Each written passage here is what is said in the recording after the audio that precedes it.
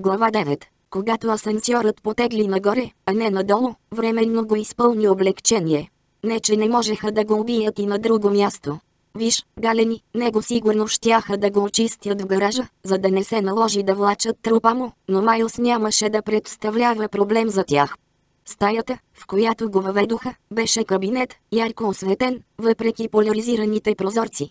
Библиотечни инфофайлове изпълваха прозрачната лавица на стената. Въгъла имаше обикновен комуникационен пулт. Видеоплочата показваше образ от килията на Майлз. Галени все още лежеше зашеметен на пода. Мъжът, който предната нощ бе командвал отвличането му, седеше на тапицирана в бежово хромирана пейка пред затъмнения прозорец и разглеждаше току-що разпечатана спринцовка. Така. Разпит, не екзекуция. Или поне разпит преди екзекуция. Освен ако просто не смятаха да го отровят. Майлс откъсна поглед от спринцовката, когато мъжът вдигна глава и го проучи с присвити очи. После за миг завъртя глава към комуникационния пулт.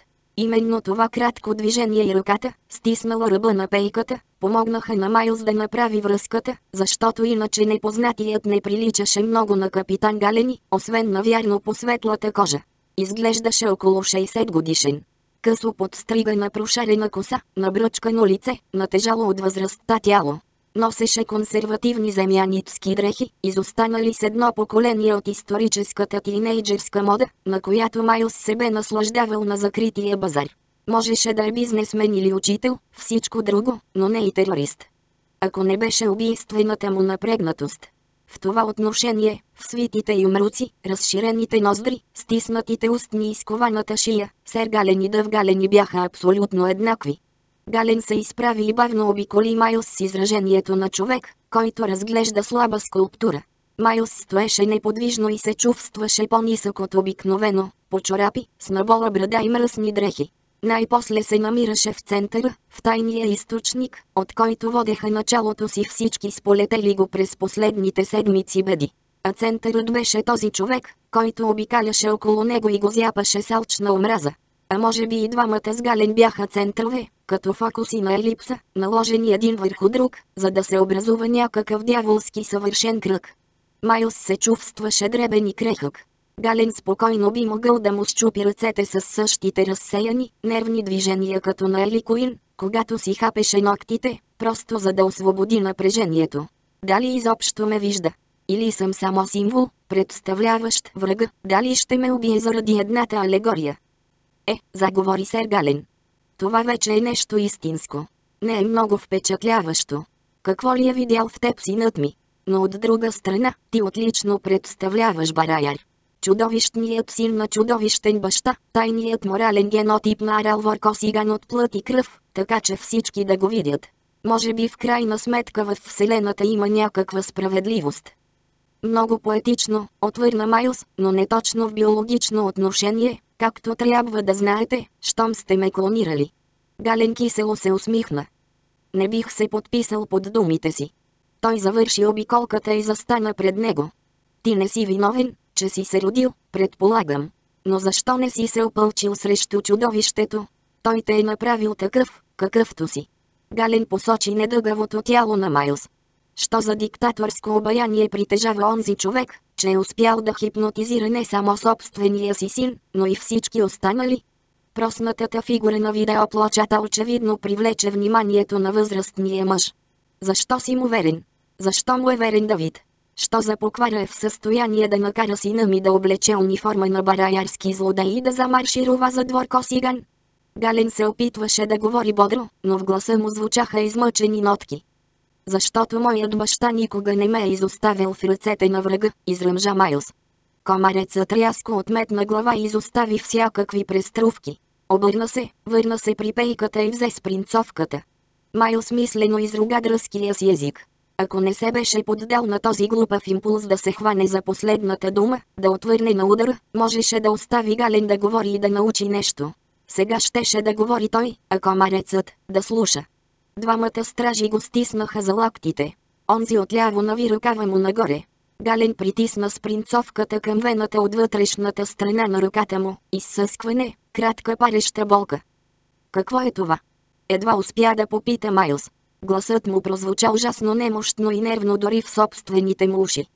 Фаст пента, разбира се, спокойно отвърна възрастният комарец. Майлс не се изненада, макар че вътрешностите му мъчително се свиха. Знаеше какво го очаква. В курса по фармакология в Имперската академия бе изучавал свойствата на пентазоцина или фаст пента. Този наркотик се използваше при разпити не само от Имперската служба за сигурност, но и в цялата галактика. Почти съвършен серум на истината, неустоим, безвреден за разпитвания дори при нееднократно прилагане. Неустоим и безвреден освен за неколцината нещастници, които имаха или естествена, или изкуствено предизвикана алергичност към него.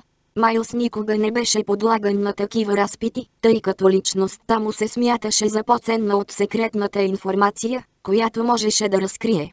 Други агенти нямаха такъв късмет. Смъртта от анафилактичен шок не бе толкова героична, колкото в анихилаторната камера, обикновено запазена за шпионите. Отчаян, Майлз зачака лудостта. Адмирал Нейсмир беше присъствал на не един разпит с Фаст Пента.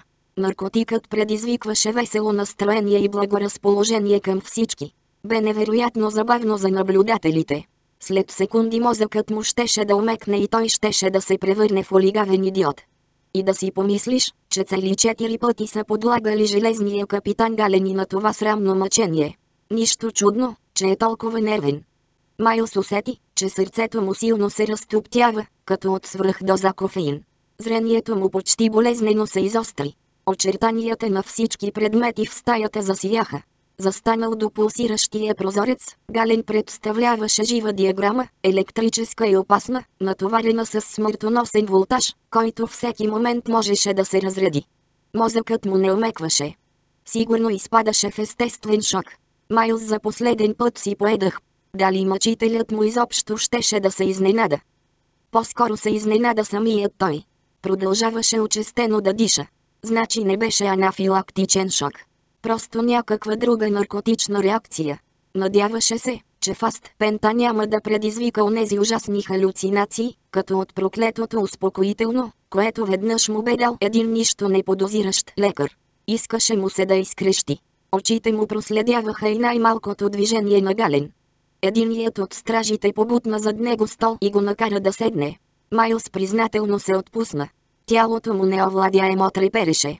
Мислите му сякаш се взривяваха на парченца и отново се пренареждаха като запис на фойерверки, превъртен назад-напред на видеоплоча.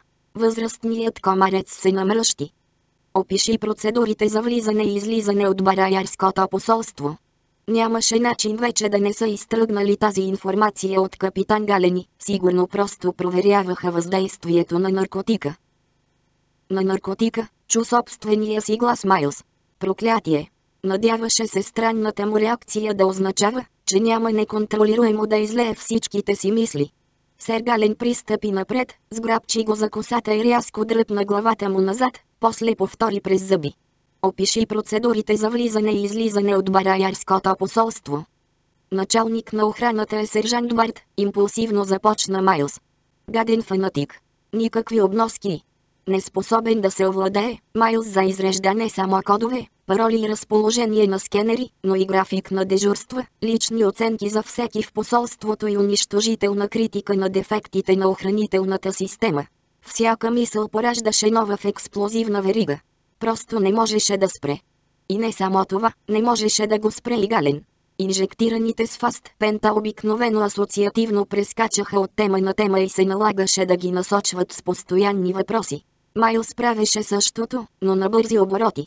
Другите жертви можеха да се контролират дори само с една дума, но едва когато комарецът няколко пъти силно го зашлеви през лицето и му изкрещя, Майлс най-после млъкна.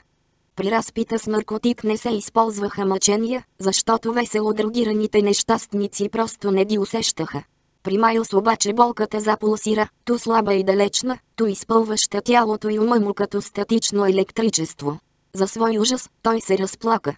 После внезапно изхълца и спря. Гален се взираше в него като хипнотизиран. Нещо не е наред, измърмори единият от стражите. Не би трябвало да се държи така. Да не би да е бил подложен на някаква нова антинаркотична обработка и пентазоцинът да не му въздейства. Очевидно му въздейства, възрази Гален и си погледна часовника. Не крие никаква информация. Дори ни дава повече. Прекалено много. Комуникационният пулт настойчиво сигнализира. Аз ще вдигна, обади се Майлз. Сигурно търсят мен. И се изправи, но коленете му се огънаха и той се просна по лице на килима. Двамата стражи го изправиха и го върнаха на стола. Стаята бавно се завъртя около него. Гален натисна бутона на комуникатора. Аз съм, разнесе се бодрият глас с бараярски акцент на лорд Варкосиган. Лицето на Клонинга не приличаше точно на онова, което Майлз виждаше всяка сутрин в огледалото. Косата му е вчесана на другата страна, без да се обръща конкретно към никого, отбеляза той. Не, това не. Така или иначе, никой не го слушаше. Мислите му продължиха да рикошират с скоростта на светлината от огледалните стени на празния му череп. Как е? Гален напрегнато се наведе над пулта. Едва не провалих всичко още през първите пет минути. Онзи едрият се оказа мой братовчет, с нервен, тих глас отвърна клонингът. Извадих страхотен късмет и успях да обърна грешката си в шега. Но са ме сложили в една стая с това копеле. А той хърка. Съвсем вярно, без да са го питали, потвърди Майлз. Само почакай да видиш какво е, когато сънува, че прави любов.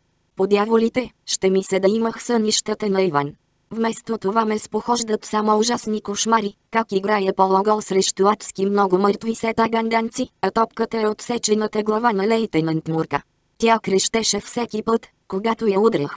Никой не му обръщаше внимание. Ще ти се наложи да се срещаш с много хора, които са го познавали, каза Гален. Но щом си заблудил Ворпатрил, ще успееш да.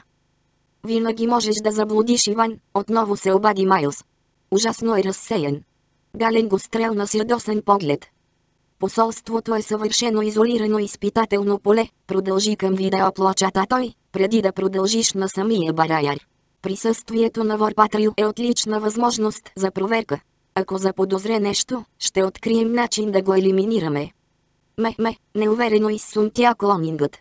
Преди да започнем, мислех, че си успял да ми натъпчеш в главата всичко възможно за Майлз Варкосиган. Но в последния момент установяваш, че той през цялото време е водил двоен живот. Още какво си пропуснал? Майлз, вече говорихме. Майлз сепнато осъзна, че Гален се обръща към клонинга с неговото име. Може би двойникът му изобщо нямаше свое. Странно. Знаехме, че в подготовката ти има празноти и че ще се налага да импровизираш. Но никога не сме имали по-добра възможност от случайното му пристигане на земята. Иначе трябваше да чакаме още 6 месеца и да се опитаме да направим подмяната на Бараяр. Не. Сега или никога. Гален си поедах, за да се успокои. Добре. Значи си се справил през първата нощ. Клонингът изсумтя. Да, ако не смяташ това, че се събудих полузадушен от някакво отвратително живо одеяло. Какво? А, живата кожа. Не я ли е дал на приятелката си? Явно не. Едва не се подмокрих от страх преди да се сетя какво е това. Събудих братовчеда. Той заподозря ли нещо? Нервно попита Гален. Излагах го, че съм сънувал кошмар. Изглежда, често му се е случвало. Майл скимна. Нали тък му това ви казвах? Отсечени глави. Счупени кости. Обезобразени роднини. Необичайни промени на важни части от тялото ми.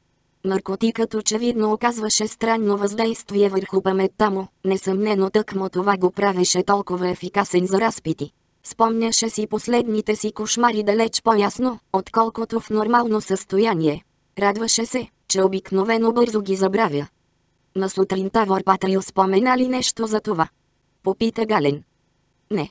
Опитвам се да не приказвам много. Това не отговаря на ролята, услужливо отбеляза Майлз. Преструвам се, че съм изпаднал в слаб пристъп на една от онези депресии, за които пишеше в психологичния му портрет, между другото, кой е този?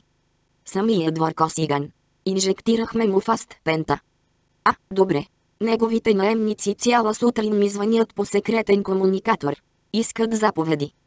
Разбрахме се да избягваш наемниците. Чудесно, ти им го кажи. Кога ще си готов да се върнеш на Бараяр?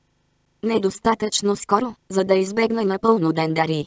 Съобщих на посланика, но изглежда, че Ворко сега не поел отговорността за издирването на капитан Галени. Той се изненада, че искам да замина, затова за сега го отложих. Капитанът съгласи ли се да ни съдейства? В противен случай ще трябва да фалшифицирате заповедта за завръщането ми и да я дадете на куриера или нещо подобно. Гален видимо се поколеба. Ще видя какво мога да направя. Междувременно ти продължавай да се опитваш. Гален не знае ли, че ни е известно за предателството на куриера? С почти нормална яснота си помисли Майлз. Успя да се сдържи и произнесе думите почти недоловимо. Ясно. Ти ми обеща, че ще го оставиш жив, докато не замина, за да можем да му задаваме някои въпроси. Сега ме интересува коя е лейтенант Бол и каква е връзката и с приходите от Триумф. Тя не спомена за какви приходи става дума. Единият от стражите сръга Майлз. Отговори на въпроса. Майлз си наложи да се съсредоточи. Тя е счетоводителка на флота ми. Предполагам, че става дума за обичайно инвестиране, което носи дивиденти, пряко волята си поясни той, после горчиво се засмя. Временно, за съжаление. Това достатъчно ли е? Попита Гален. Да, струва ми се. Отговорих и, че е опитен офицер, и наредих да действа дискретно. Това явно я задоволи, но се чудя какво всъщност съм и заповядал да направи. Добре, следващият въпрос. Коя е Розали Крю и защо съди адмирал Нейсмит за половин милион галактически федерални кредита? Кой? С искрено удивление зяпна Майлз, когато стражът отново го побутна. Какво? Другираният му ум не можеше да обърне половин милион галактически федерални кредита в бараярски имперски марки, ала разбираше, че това са адски много пари. Отначало името не му говореше нищо, после внезапно се сети. Мили Боже, това е онази нещастна продавачка от магазина за алкохол. Аз я спасих от пожара. Защо ме е дала под съд? Защо не съди Данио? Той изгори магазина и, разбира се, той. Но какво общо имам аз с това? Попита клонингът. Нали искаш да заемеш моето място, кисело отвърна Майлз. Сам се оправяй. Ала мисловните му процеси все още бяха неконтролируеми.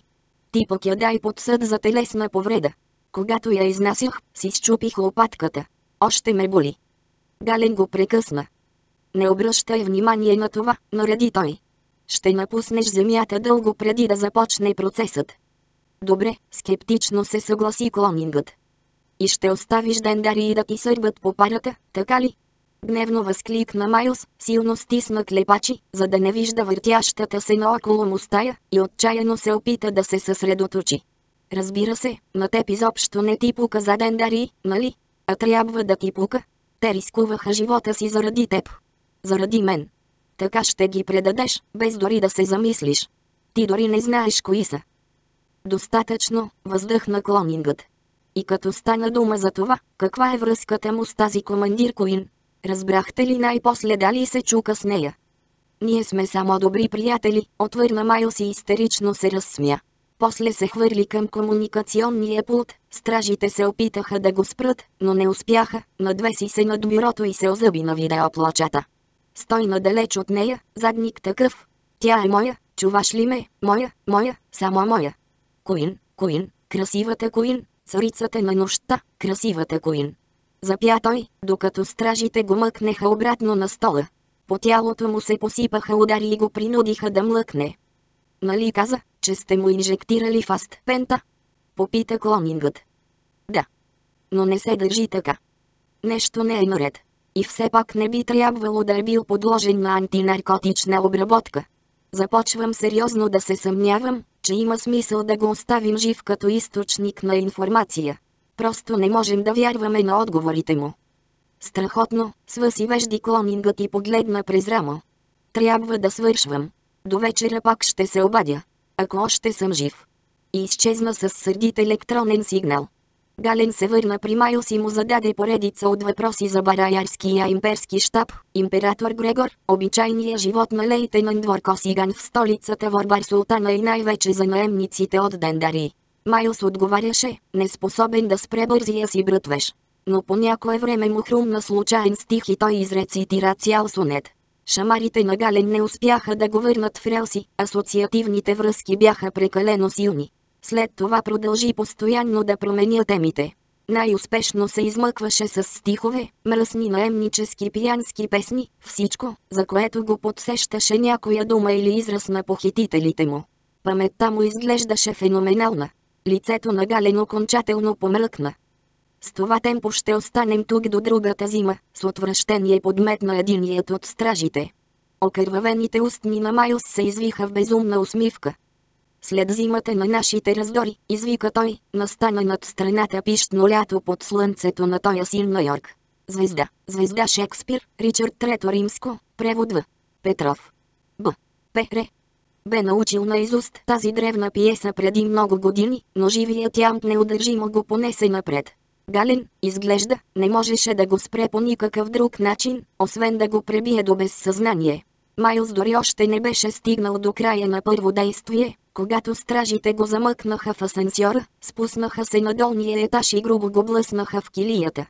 Той продължи да рецитира, като крачеше от стена до стена, в подходящите моменти скачаше върху пейката и изпълняваше женските роли с съответен фалцет.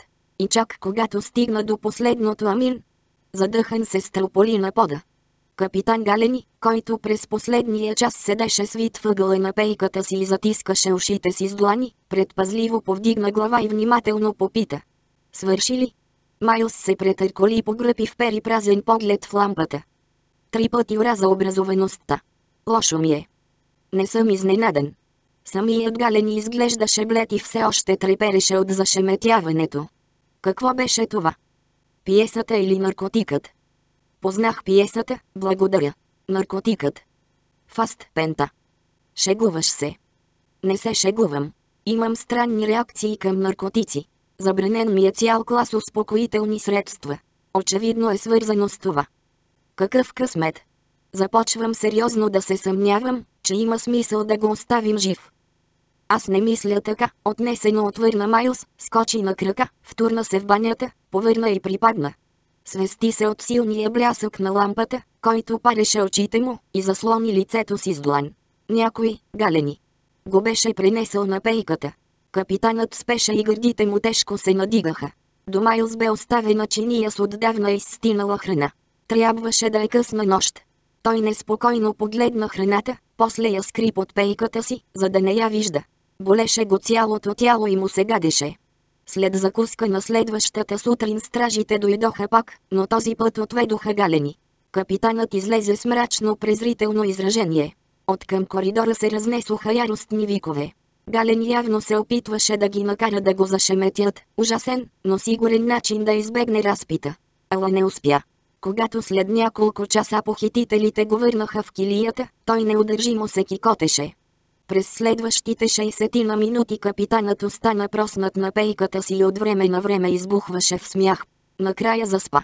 Майлс рицарски устоя на изкушението да се възползва от състоянието му, за да му зададе няколко въпроса. Уви, инжектираните с фаст пента си спомняха своите преживявания. Вече бе съвсем сигурен, че една от ключовите думи за галени е предателство. Когато най-после се върна в съзнание, комарецът изглеждаше ужасно зле. Последиците от наркотика бяха изключително неприятни, в това отношение реакцията на Майлс не правеше никакво изключение. Той съчувствено потръпна, когато Галени на свой ред посети банята. Капитанът се върна и тежко седна на пейката си. Погледът му попадна върху студената му вечеря и той съмнително я побутна с показалец. Искаш ли я? Не, благодаря, отвърна Майлз. Ме, ме.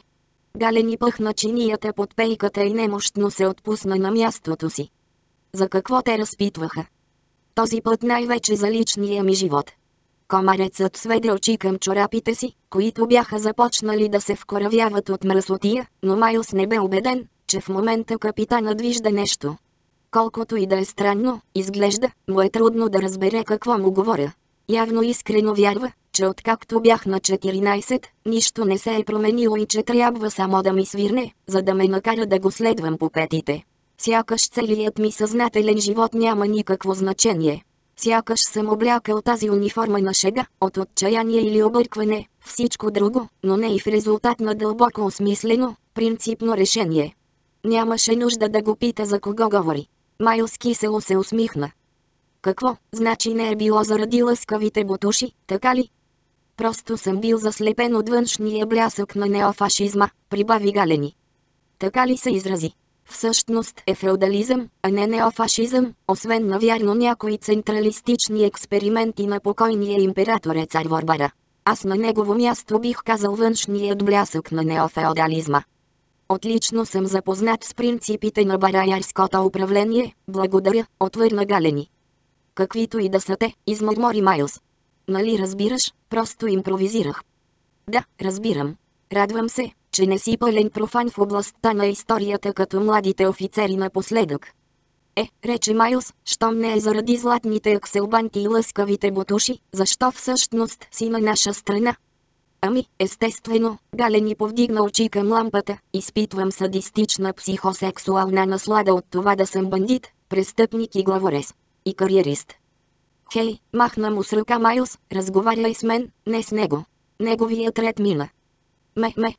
Капитанът мрачно скръсти ръце. В известен смисъл си прав. Наистина съм кариерист. Или поне бях.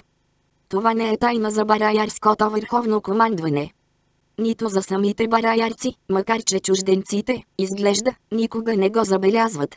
Как си представят, че такова очевидно кастово общество е издържало на невероятното напрежение след края на изолацията, без да се взриви? В известен смисъл имперската служба за сигурност изпълнява същите социални функции като средновековната църква на земята, като предпазен клапан. Тя дава възможност на всички талантливи хора да се избавят от бремето на кастовия си происход. След 20 години служба получават почетна ворска титла. Имената може да не са се променили от дните на Дорка Ворбара, когато Вор е била затворена каста на независими конни бандити. Тази характеристика на прапрадядовото му поколение накара Майлз да се усмихне. Но същността е абсолютно неузнаваема. Ала въпреки всичко верските представители са успели, макар и отчаяно, да запазят някои жизнено важни принципи на служба и саможертва. Галени замълча, изчерви се и се прокашля. Моята докторска дисертация, нали разбираш? Бараярската имперската служба за сигурност, век на промяна. Разбирам. Исках да служа на комар. Както баща ти преди теб, довърши Майлз. Капитанът рязко вдигна поглед. Очакваше да види в очите му сарказъм, но откри, поне така се надяваше Майлз, само съчувствена ирония. Галени кимна. Да, и в същото време не. Нито един от кадетите, с които служих, не беше виждал истинска война. Докато аз бях участвал в улични боеве. Подозирах, че познаваш комарското възстание по-добре, отколкото, изглежда, смята службата за сигурност, отбеляза Майлз. Да, потвърди капитанът. Използваха ме за нощни набези и саботажи, бях доста дребен за възрастта си. Има места, където никой няма да спре играещо си дете. Преди да навърша 14 години бях помагал да убиват хора. Не храня иллюзии за славните имперски войски по време на комарското възстание. Виждал съм мъже, облечени в тази униформа, той посочи зелените си панталони, да извършват позорни неща. От гняв или страх, от раздразнение или отчаяние, понякога просто от нехайна злоба. Но за обикновените хора, озовали се сред кръстосен огън, едва ли е важно дали са изгорени от плазмения огън на нашествениците, или са взривени на парчета от квантовите бомби на патриотите. Свобода ли? Не можем да се преструваме, че преди идването на бараярците на комаря царяла демокрация. Баща ми крещеше, че бараяр би унищожил планетата, но когато се огледах, комар все още си беше там. Не можеш да взимаш данъци от пустиня, промърмори Майлз. Веднъж видях едно момиченце. Галени за миг замълча и прехапа устни. Важното е да няма война. Искам. Исках да направя така, че да няма война. Кариера в имперската служба, почетно уволнение, министерски пост. После нагоре в иерархията на гражданското управление, а след това. Вицекрал на Комарли? Подсказа му Майлз. Такива надежди щяха да са малко мегаломански, отвърна капитанът но определено служба при него. Очите му видимо се замъглиха и от устните му се изтръгна самоироничен смях. Баща ми, от друга страна, иска отмъщение. Чуждото господство над комар не само съдържало потенциална опасност от извращения, но и според принципите му носело злото в природата си. Опитите за интегриране не били компромис, а колаборационизъм, капитулантство. Заради моите грехове загивали комарски революционери. И така нататък, и така нататък. Значи все още се надява да те убеди да преминеш на негова страна. О, да. Убеден съм, че ще продължава да говори, докато натиска спусъка. Не че те карам, хеме, да измениш на принципите си, но всъщност не смятам, че ще ми навредиш по някакъв начин, ако, да речем, измолиш да запазят живота ти, неуверено отбеляза Майлз. Просто е нужно да използваш малко хитрост, за да продължиш борбата. Галени поклати глава. Точно поради това не мога да се предам. Няма да. Не съм способен на това. Той не може да ми има доверие. Ако променя решението си, баща ми ще бъде принуден да ме убие, колкото и да се преструва сега, че не иска да го направи. Вече пожертва брат ми. В известен смисъл майка ми умря тъкмо заради тази и други жертви, които той и наложи в името на каузата. Комарецът замълча, после смутено прибави. Предполагам, че всичко това прилича на Едипов комплекс, но... Тежките решения винаги са допадали на романтичната му природа. Майлс поклати глава. Ти го познаваш по-добре от мен. Но... Е, тежките решения помътват разума. Желанието да постъпваш глупаво е изключително могъща сила. Галени се засмя, после замислено го погледна. Но винаги има други възможности. По-важно е да останеш верен на човек, отколкото на принцип. Капитанът повдигна вежди. Е, от устата на бараярец това не бива да ме изненадва. От общество, което е традиционно организирано с вътрешни клетви за вярност, а не с външна система от абстрактни закони, това ли показва политиката на баща ти? Майлс се прокашля. Всъщност теологията на майка ми, макар да тръгват от абсолютно противоположни изходни точки, възгледите им стигат до това странно заключение. Според нейната теория принципите идват и си отиват, но човешката душа е безсмъртна и следователно трябва да отдаваш много по-голямо значение на нея. Майка ми е изключително логична. Бетанка, нали разбираш? Галени заинтригувано се наведе напред. Повече ме изненадва това, че майка ти изобщо има нещо общо с твоето възпитание. Бараярското общество е толкова, хеме, агресивно-патриархално. А графиня Воркосиган има репутацията на най-невидимата от съпругите на всички политици. Да, наистина е невидима, весело се съгласи Майлз, като въздуха. Ако изчезне, дори не усещаш. До следващия път, когато си поемеш дъх. Той сподави пристъпа на носталгия и страх. Ако този път не се върна. Галени недоверчиво се усмихна. Трудно ми е да си представя, че великият адмирал се поддава на, хеме, женски примамки. Майлс свира мене. Поддава се на логиката. Майка ми е една от малцината, които почти изцяло са победили желанието да постъпват глупаво. Майлс замислено свъси вежди. Баща ти е много интелигентен човек, нали? Искам да кажа, като се изключат възгледите му. Успял е да заблуди службата за сигурност, да разработи план за поневременно ефективни действия, упорите. Да, съгласи се капитанът. Хеме. Какво? Ами. В цялата тази история има нещо, което ме безпокои. Даже много неща. Нямам предвид лично, а логично. Абстрактно. Като план, в него има нещо, което не се връзва даже от негова гледна точка. Разбира се, това е хазарт, трябва да се поемат много рискове. Винаги е така, когато се опиташ да превърнеш всеки план в действие, но в случая не става дума за практическите проблеми. Има някаква основна грешка. Планът е дързък.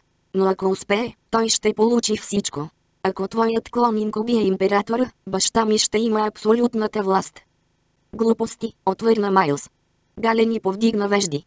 Фактът, че бараярската управленческа система е неписана, не означава, че не съществува. Би трябвало да знаеш, че властта на императора се крепи на съдействието, което получава от армията, графовете, министрите и изобщо от целия народ. Ужасна съдба сполетява онези императори, които не изпълняват функциите си в съответствие с желанията на тези групи. Посичането на лудия император Юри не е било чак толкова отдавна. Като малък, баща ми е присъствал на тази кървава екзекуция. А има хора, които въпреки всичко се чудят защо не се е опитал да стане император. Виж сега. Да речем, че този мой двойник заграби трона с кървав преврат и даде привилегии, или дори независимост на комар. Какви ще са резултатите? Продължавай, заинтригувано отвърна Галени. Военните ще се настроят против мен, защото съм забравил извоюваните им с мъка победи. Графовете ще се настроят против мен, защото съм се издигнал над тях. Министрите ще се настроят против мен, защото загубата на комар като източник на данъци и търговски възел ще намали властта им. Народът ще се настрои против мен поради всички тези причини, плюс факта, че в неговите очи аз съм мутант, физически нечист според бараярската традиция. Нали знаеш, в затънтената провинция продължават да убиват бебета заради очевидни вродени дефекти, въпреки че от 4 десетилетия това е забранено от закона. Ако можеш да се сетиш за по-отвратителна съдба от това да те разчленят жив, е, онзи нещастен клонинг се е запътил право към нея. Не съм сигурен, че бих могъл да се кача на трона и да оцелея, дори и без осложненията с комар. А онова хлапе е едва на... На колко? На 17-18 години, нали? Заговорът е глупав. Или... Или... Или са намислили нещо друго. Хеме. Освен това, по-бавно продължи Майлз, защо сер Галин, който, ако не греша, мрази баща ми повече от всичко на света, полага толкова много усилия, за да постави на бараярския трон наследник на Въркосиган. Това едва ли може да се смята за отмъщение. И ако клонингът по някакво чудо успее, как баща ти възнамерява да го контролира? Може би с хипноза, предположи Галени. Или с заплахи да го разкрие. Хеме, възможно е. Почувствал се в задънена улица, Майлз замълча. Измина дълго време преди отново да заговори. Мисля, че действителният му план е много по-прост и по-хитър. Целта му е клонингът да стане център на борба за власт и така да се предизвика хаос на Бараяр. Резултатите от борбата нямат значение. Клонингът е обикновена пионка. В кулминационния момент на комар трябва да избухне възстание, колкото по-кърваво, толкова по-добре. Баща ти трябва да има съюзници, готови да се намесят с достатъчно военна сила, за да блокират пространствено-времевия изход на Бараяр. Господи, надявам се да не е сключил сделка с сета ганданците. Замяната на бараярската окупация с сета ганданска ми се струва абсолютно безсмислена, той определено не е чак толкова луд. Но какво ще се случи с твоя доста скъп клонинг? Озадачено попита Галени. Майлс кисело се усмихна. Това едва ли интересува Сергален.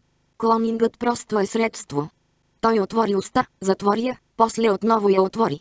Освен това в главата си постоянно чувам гласа на майка ми. Оттам взех онзи съвършен бетански акцент, нали знаеш, онзи, който използвам в ролята си на адмирал Нейсмит. И в момента я чувам. И какво ти казва тя? Весело повдигна вежди галени. Майлз, пита майка ми, какво направи с малкото си братче? Той не ти е брат. Задавено възкликна капитанът. Тъкмо обратното. Според бетанския закон клонингът ми е брат. Пълно безумие. Галени замълча за миг. Майка ти не би могла да очаква, че ще пазиш това създание. О, напротив, мрачно въздъхна Майлз. Сърцето му панически се сви. Ужасно сложна ситуация. И това е жената, която според теб стои зад човека, ръководещ бараярската политика, така ли? Не разбирам. Граф Воркосиган е изключително прагматичен. Само погледни проекта за интегрирането на комар. Да, отвърна Майлз. Точно за това става дума. Галени го стрелна с подозрителен поглед и каза. Човекът зад принципа, а? Да. Капитанът присви устни, после промълви. Баща ми винаги е бил човек на големите принципи. Глава 10. С всяка изтекла минута шансовете за спасение изглеждаха все по-малко. Донесоха им следващата закуска и ако можеше да се разчита на този странен часовник, започна третият ден от пленничеството на Майлз. Изглежда, че клонингът не беше допуснал очевидна грешка, за да разкрие истинската си природа пред Иван или Ели. А това означаваше, че може да заблуди и всеки друг. Майлз потръпна. Какво да направи? Майлз закрачи из килията. Застоялият въздух започваше да мирише и това не му помагаше да проясни ума си. Без да възлага особено големи надежди, той отиде в банята и запуши канала с чорапа си. Както предполагаше, сензорната система, която пускаше водата при приближаването на ръцете му, сега я спря преди мивката да прилее. И дори ако по някакво чудо успееше да накара похитителите си да отворят вратата, примерът с галени показваше колко малки шансове има да се справи с техните зашеметители. Не. Единственият смисъл в контакта с врага се състоеше в информацията, която врагът се надяваше да получи от него. В крайна сметка това беше единствената причина да го оставят жив. Трябваше да се възползва от случая. Информационен саботаж. Щом сам не бе допуснал грешка, клонингът навярно се нуждаеше от малко помощ. Но комарците пак щяха да му инжектират фаст пента. Можеше да отправя фалшиви уверения към лампата като капитан Галени, но едва ли щяха да го вземат на сериозно. Той седеше на пейката и намръщено се взираше в замръзналите си боси крака, беше оставил лепкавите си влажни чорапи да изсъхнат.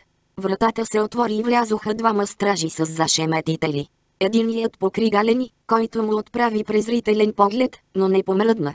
Показалецът на стража напрегнато потръпваше върху спусъка, нямаше да се поколебае да стреля. Днес капитанът не им трябваше в съзнание. Другият даде знак на Майлз да излезе от килията. Майлз въздъхна и се подчини. В коридора го очакваше клонингът, облечен в неговата адмиралска униформа от Дендари. Отведоха Майлз в кабинета и този път го завързаха на стол в средата на стаята. Странно, Гален го нямаше. Чакайте пред вратата, нареди клонингът на стражите. Те се спогледаха, свиха рамене и излязоха, като взеха два меки стола. Настана мълчание.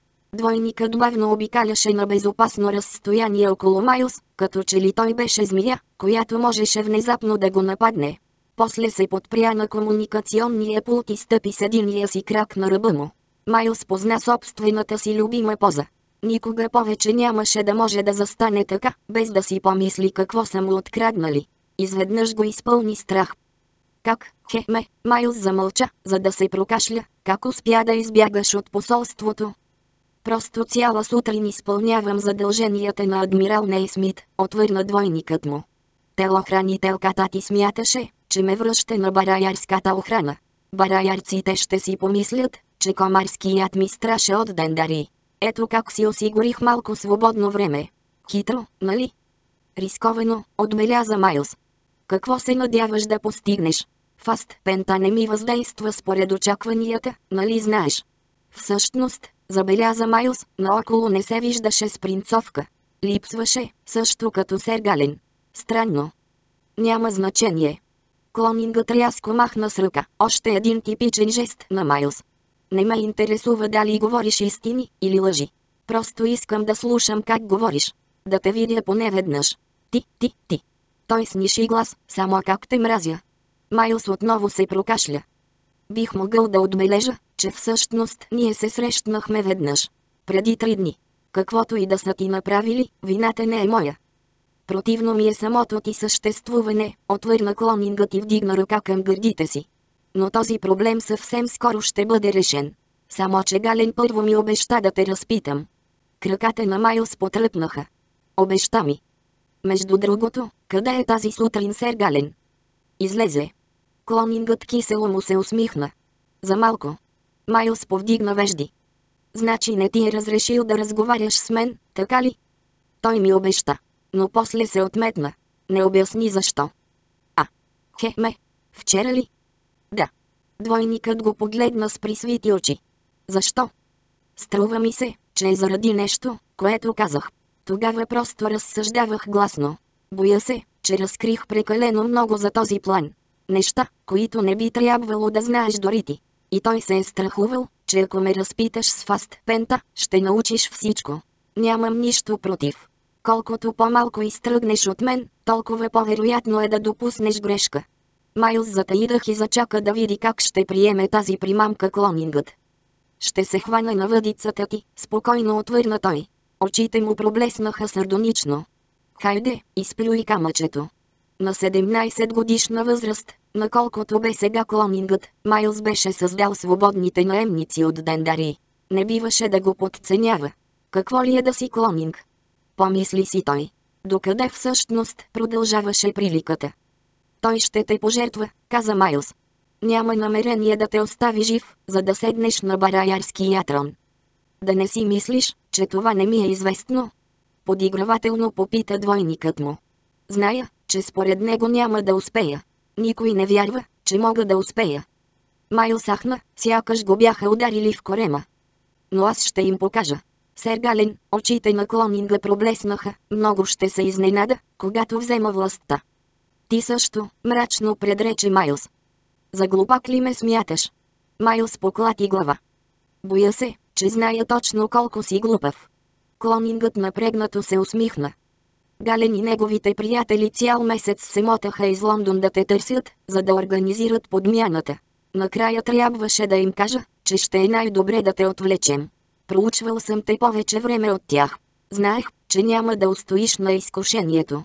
Винаги мога да те надхитря. Самата истина, уви, поне в този случай. Майлс сподави пристъпа си на отчаяние. Това хлапе беше умно, прекалено умно, и притежаваше всяка негова особеност, чак до мъчителната нервност, излъчваща се от мускулите на тялото му. А може би различни стресови ситуации бяха в състояние да доведат до едни и същи резултати? Как ли изглеждаше светът през неговите очи? Погледът му попадна върху адмиралската униформа. Собствените му военни отличия зловещо му намигаха от плата. Но можеш ли да надхитриш адмирал Нейсмит? Двойникът се усмихна гордо. Сутринта уредих да освободя двойниците ти от затвора. Нещо, което ти очевидно не си успял да направиш. Даниоли? Изхриптя Майлз. Не, не, кажи, че не. Сега отново е на бойния си пост, кимна клонингът. Майлз потисна тихото си изпъшкване. Клонингът спря, погледна го напрегнато и видимо се поколеба. Като стана дума за адмирал Нейсмит, спиш ли с оная жена? Що за живот бе водило това хлапе, отново се зачуди Майлз. Абсолютно затворен, постоянно наблюдаван, постоянно обучаван, почти като в манастир. Дали комарците се бяха сетили да включат и това в обучението му, или още бе девствен? В такъв случай сигурно мислеше само за секс. Куин, отвърна Майлз, е 6 години по-голяма от мен. Изключително опитна. И взискателна. Свикнала е партньорът и да е много фин. Запознат ли си с любовните практики дивата във варианта им, разпространен на Клайн Стейшън? Нямаше начин да сбърка, каза си той, тъй като измисляше всичко в движение. Известни ли са ти седемте тайни пъти на женското удоволствие? След като свърши 4-5 пъти обаче, тя обикновено те оставя. Клонингът продължаваше да обикаля около него, но изглеждаше леко смутен. Лъжиш ме. Възможно е, озъби му се Майлз. Искаше му се тази импровизация да е истина. Но само помисли какво рискуваш. Двойникът го изгледа яростно. Той му отвърна по същия начин. Костите ти като моите ли се чупят? Внезапно попита Майлз. Ужасна мисъл. Ами ако за всеки удар, изтърпян от него, бяха чупили и костите на клонинга му, за да не се различават? Ами ако за всеки поет от него глупав риск клонингът беше платил цялата? Имаше основание да го мрази. Не. Майлз скри облегчената си усмивка. Значи резултатите от медицинското им сканиране нямаше да са напълно еднакви. Значи планът не е дългосрочен, а предвижда се да остане на трона половин година. И аз така си помислих. И чии космически флот ще предизвика хаос на Бараяр, докато Комар отново се вдига на възстание? Майлз говореше спокойно и се опитваше да не си придава прекалено заинтригуван вид от тази жизнено важна информация. Щяхме да повикаме сета ганданците, но се отказахме. Най-ужасните му страхове. Отказахте ли се? Това ме радва. Но защо в цялото това безумно начинание най-после сте проявили малко здрав разум? Открихме нещо по-добро, странно се подсмихна клонингът. Независима военна сила, извънредно опитна в космически блокади и без неподходящи задължения към съседни планети. Освен това абсолютно предана лично на мен. Свободните наемници от Дендари. Майлз понечи да се хвърли към него. Клонингът отстъпи назад. Майлз бе здраво завързан на стола и движението го прекатури напред. Лицето му болезнено се удари в пода. Не, не. Стенеше той и се мъчеше да се освободи. Идиот такъв. Ще настане истинска кланица. Двамата комарски стражи се втурнаха в стаята. Какво, какво става? Нищо. Пребледнял, клонингът излезе иззад комуникационния пулт, където се беше скрил. Той просто падна. Изправете го. Падна или е бил бутнат, измърмори единият от комарците, докато изправяха стола, и с любопитство се вгледа в лицето на пленника. По горната устна и тридневното стърнище на Майлс се стичаше топла влага. Кръв. Той я облиза с език. Спокойно. Спокойно. Клонингът нямаше да успее да стигне толкова далеч с Дендари. Ала бъдещият му провал нямаше да утеши мъртвия Майлз. Трябва ли ти, Хеме, помощ? Попита двойника му по-възрастният комарец. Нали знаеш, мъчението си е цяла наука. да постигнеш максимална болка с минимални увреждания. Чичо ми ме научи на методите, които използвали главорезите от Бараярската служба за сигурност. Ако фаст пента не върши работа. Не му трябва помощ, изръмжа Майлз, докато клонингът казваше. Не ми трябва помощ. Двамата замълчаха и се спогледаха. Майлз бързо възвърна самообладанието си. Двойникът му изглеждаше малко смутен. Ако я нямаше проклетата тридневна брада, сега щеше да е най-подходящият момент да закрещи, че Воркосиган го е надвил и се е преоблякал в неговите дрехи. Уви, това не беше възможно. Клонингът се изправи и се опита да възвърне достоинството си.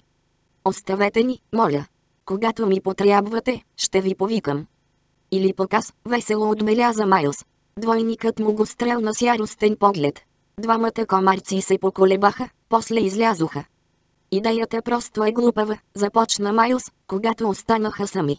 Разбери, дендарии наистина са елитна, но според планетарните стандарти съвсем малобройна войска. Малобройна, разбираш ли, малобройна? Тя е подходяща за секретни операции, кратки набези, разузнавателни акции. Не може да се бие срещу изцяло разгърната планетарна армия. Изобщо не ти е ясна економиката на войната. Заклевам се в Господ, че не мислиш за след тази половин година. Не, че има някаква полза, ти ще си мъртъв много преди това. Клонингът зловещо се усмихна. Подобно на самия мен, дендарии ще бъдат пожертвани. В крайна сметка нали не трябва да плащаш на мъртви наемници. Той замълча за миг и любопитно се вгледа в Майлз. Ти за колко време напред бъдещето мислиш? Напоследък, за след 20 години, мрачно отвърна Майлз. Той си представи капитан Галени като вице-крал на Комар, най-добрият, когато би могла да се надява да има планетата.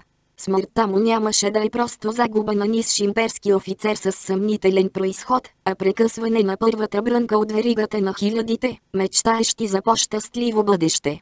Бъдеще, в което лейтенант Майлз Воркосиган щеше да е граф Майлз Воркосиган и да се нуждае от здравомислещи приятели на ключови постове. Ако успееше да спаси Галени. Признавам, прибави той, че когато бях на твоята възраст, мислех само за следващите 15 на минути. Клонингът изсумтя. Това е било преди цял век, нали? Като че ли. Винаги съм имал чувството, че ако искам да успея, трябва да живея бързо. Много предвидливо, защото ти остават около 24 часа.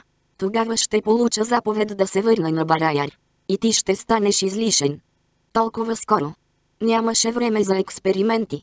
Нямаше време за нищо друго освен за едно единствено правилно решение. Майлс мъчително преглътна.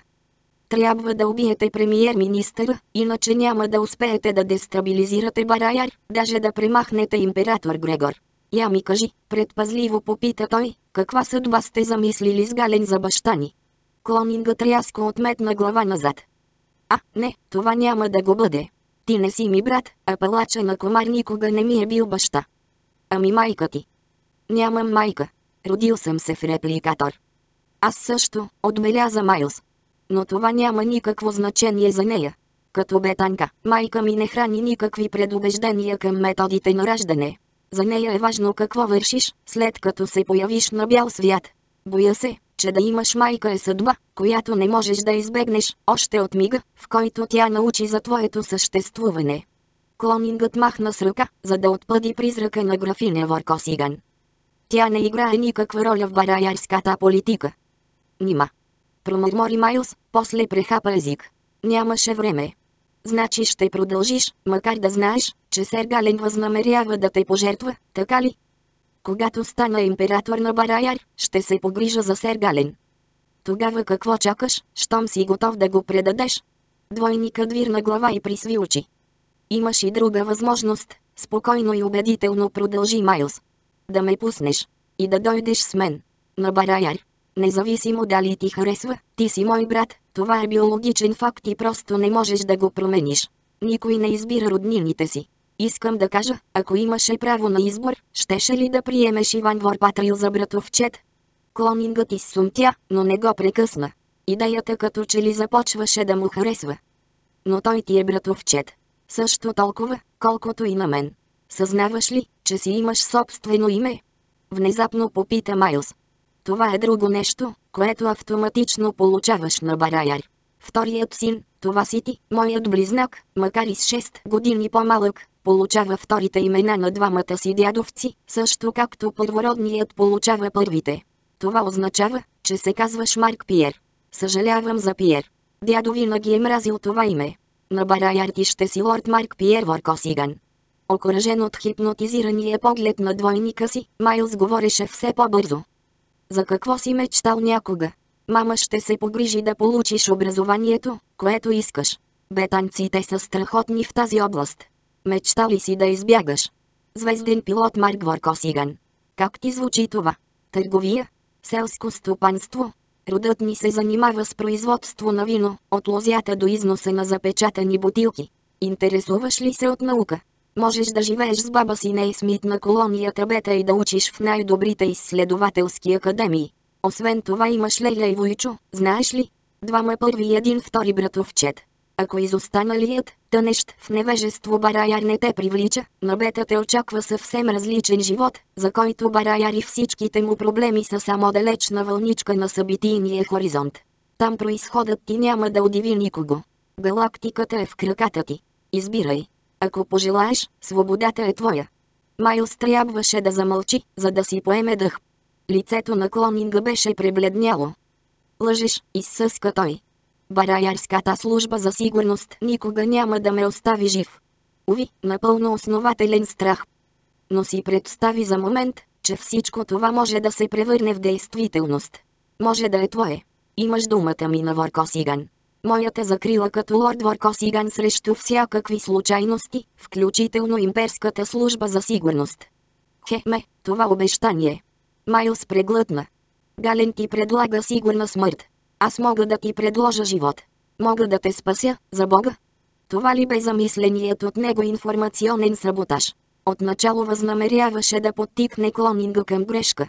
Какво направи с малкото си братче? Двойникът му отметна глава и истерично се засмя. Господи, я се виж. Пленник, завързан за стол, само на няколко часа от смъртта. Той иронично му се поклони. О, благородни господарю, твоята щедрост ме смайва. Но кой знае защо, съм убеден, че в момента твоята закрила не струва и пукната пара. Клонингът за пръв път се приближи до него. Ти си невероятен мегаломан. Не си способен да спасиш дори самия себе си. Той импулсивно го зашлеви през лицето, нали? После отстъпи, сепнат от собствената си ярост, и неволно повдигна за червената си длань пред лицето си. Разкървавените устни на Майлс се извиха в усмивка и клонингът припряно отпусна ръка. Така. Никога до сега не е удрил човек. Нито пък е убивал, басирам се. О, клети ми девственико, някога дефлорирал ли си жена? Нали? Повтори двойникът му. Той взима истината за лъжа, докато преди това аз исках да го накарам да приеме лъжите ми за истина. Страхотен саботьор съм, няма що. Защо му казах истината? Защото ми е брат и ние сме виновни за неговите страдания. Виновни сме, че не сме го открили по-рано, че не сме го спасили. Някога мечта ли си да се спасиш? Неочаквано попита Майлз. След като си научил кой си. Или още преди това. Между другото, какво беше детството ти? Обикновено сираците мечтаят за знатни родители, които накрая ги откриват. При теб това може да се превърне в действителност. Клонингът горчиво и презрително изсумтя. Едва ли. Винаги съм знаел всичко. Знаех кой съм още от самото начало. Нали знаеш, клонингите на Джаксън Хол израстват при приемни родители. Онези, които са отгледани в цистерни, често имат неприятни здравословни проблеми. Податливи са на инфекции и сърдечно-съдови заболявания. Хората, които си плащат, за да трансплантират мозъка им, очакват да се събудят в здраво тяло. Някога имах приемен брат, малко по-голям от мен. Двойникът замълча и дълбоко си поедах. Отглеждаха ни заедно, но не го образоваха. Аз го понаучих да чете. Малко преди да ме вземат комарците, хората от лабораторията го отведоха. Впоследствие случайно го срещнах. Бяха ме пратили да взема някакъв пакет от космодрума, но не трябваше да минавам през града. Видях го да влиза в чакалнята за първа класа. Втурнах се към него. Само че това вече не беше той. В главата му се беше наместил някакъв ужасен богат старец. Неговият телохранител ме блъсна. Клонингът го погледна гневно. О, знаех всичко. Но поне този път ще победи клонингът. Вместо ти да ми отнемеш живота, аз ще отнема твоя. И какъв ще е животът ти? Отчаяно попита Майлз. Къде ще е Марк, докато ти подражаваш на Майлз? Убеден ли си, че в гроба ще лежа само аз? Двойникът му потръпна. Когато стана император на Бараяр, през зъби отвърна той, никой няма да може да ме пипне с пръст. Властта носи сигурност. Сигурност не съществува, възрази Майлз. Само различни степени на риск. И провал. Нима щеше да позволи да го предаде някогашната му самотност на единствено дете. Дали зад тези толкова познати сиви очи, които яростно се впиваха в него, се криеше истински човек? С каква примка можеше да го хване? Началото, клонингът явно разбираше началото, липсваше му опит с края. Винаги съм знаел, тихо продължи Майлс и двойникът му се наведе към него, за да го чуе, защо родителите ми не са създали други деца. Освен заради уврежданията от солтоксинови ягас. Бетанската медицина е можела да се справи с този проблем. Баща ми се преструваше, че просто не иска да напуска Бараяр, но майка ми можеше да вземе негова генетична проба и да отиде сама. Виждаш ли, причината бях аз. Моите аномалии. Ако имаха съвсем здрав син, щяха да бъдат подложени на невероятен обществен натиск да ме лишат от наследство и да му прехвърлят моите права. Мислиш ли, че преувеличавам ужаса, който Бараяр изпитва от мутанти? След като не успял да убеди майка ми да направи аборт, собственият ми дядо се опитал да реши проблема, като ме удуши в люлката. Сержант Ботари, още от раждането си съм имал телохранител, 2 метра висок, не посмял да насочи оръжие срещу великия генерал. Затова трябвало просто да го вдигне и да го задържи във въздуха, докато генерал Пьотър любезно не помолил да го пусне. В крайна сметка въпросът се уредил. Много по-късно научих тази история от дядо ми, сержантът не беше много приказлив. А по-късно дядо ме научи да яздя. И ми даде кинжала, който сега носиш ти.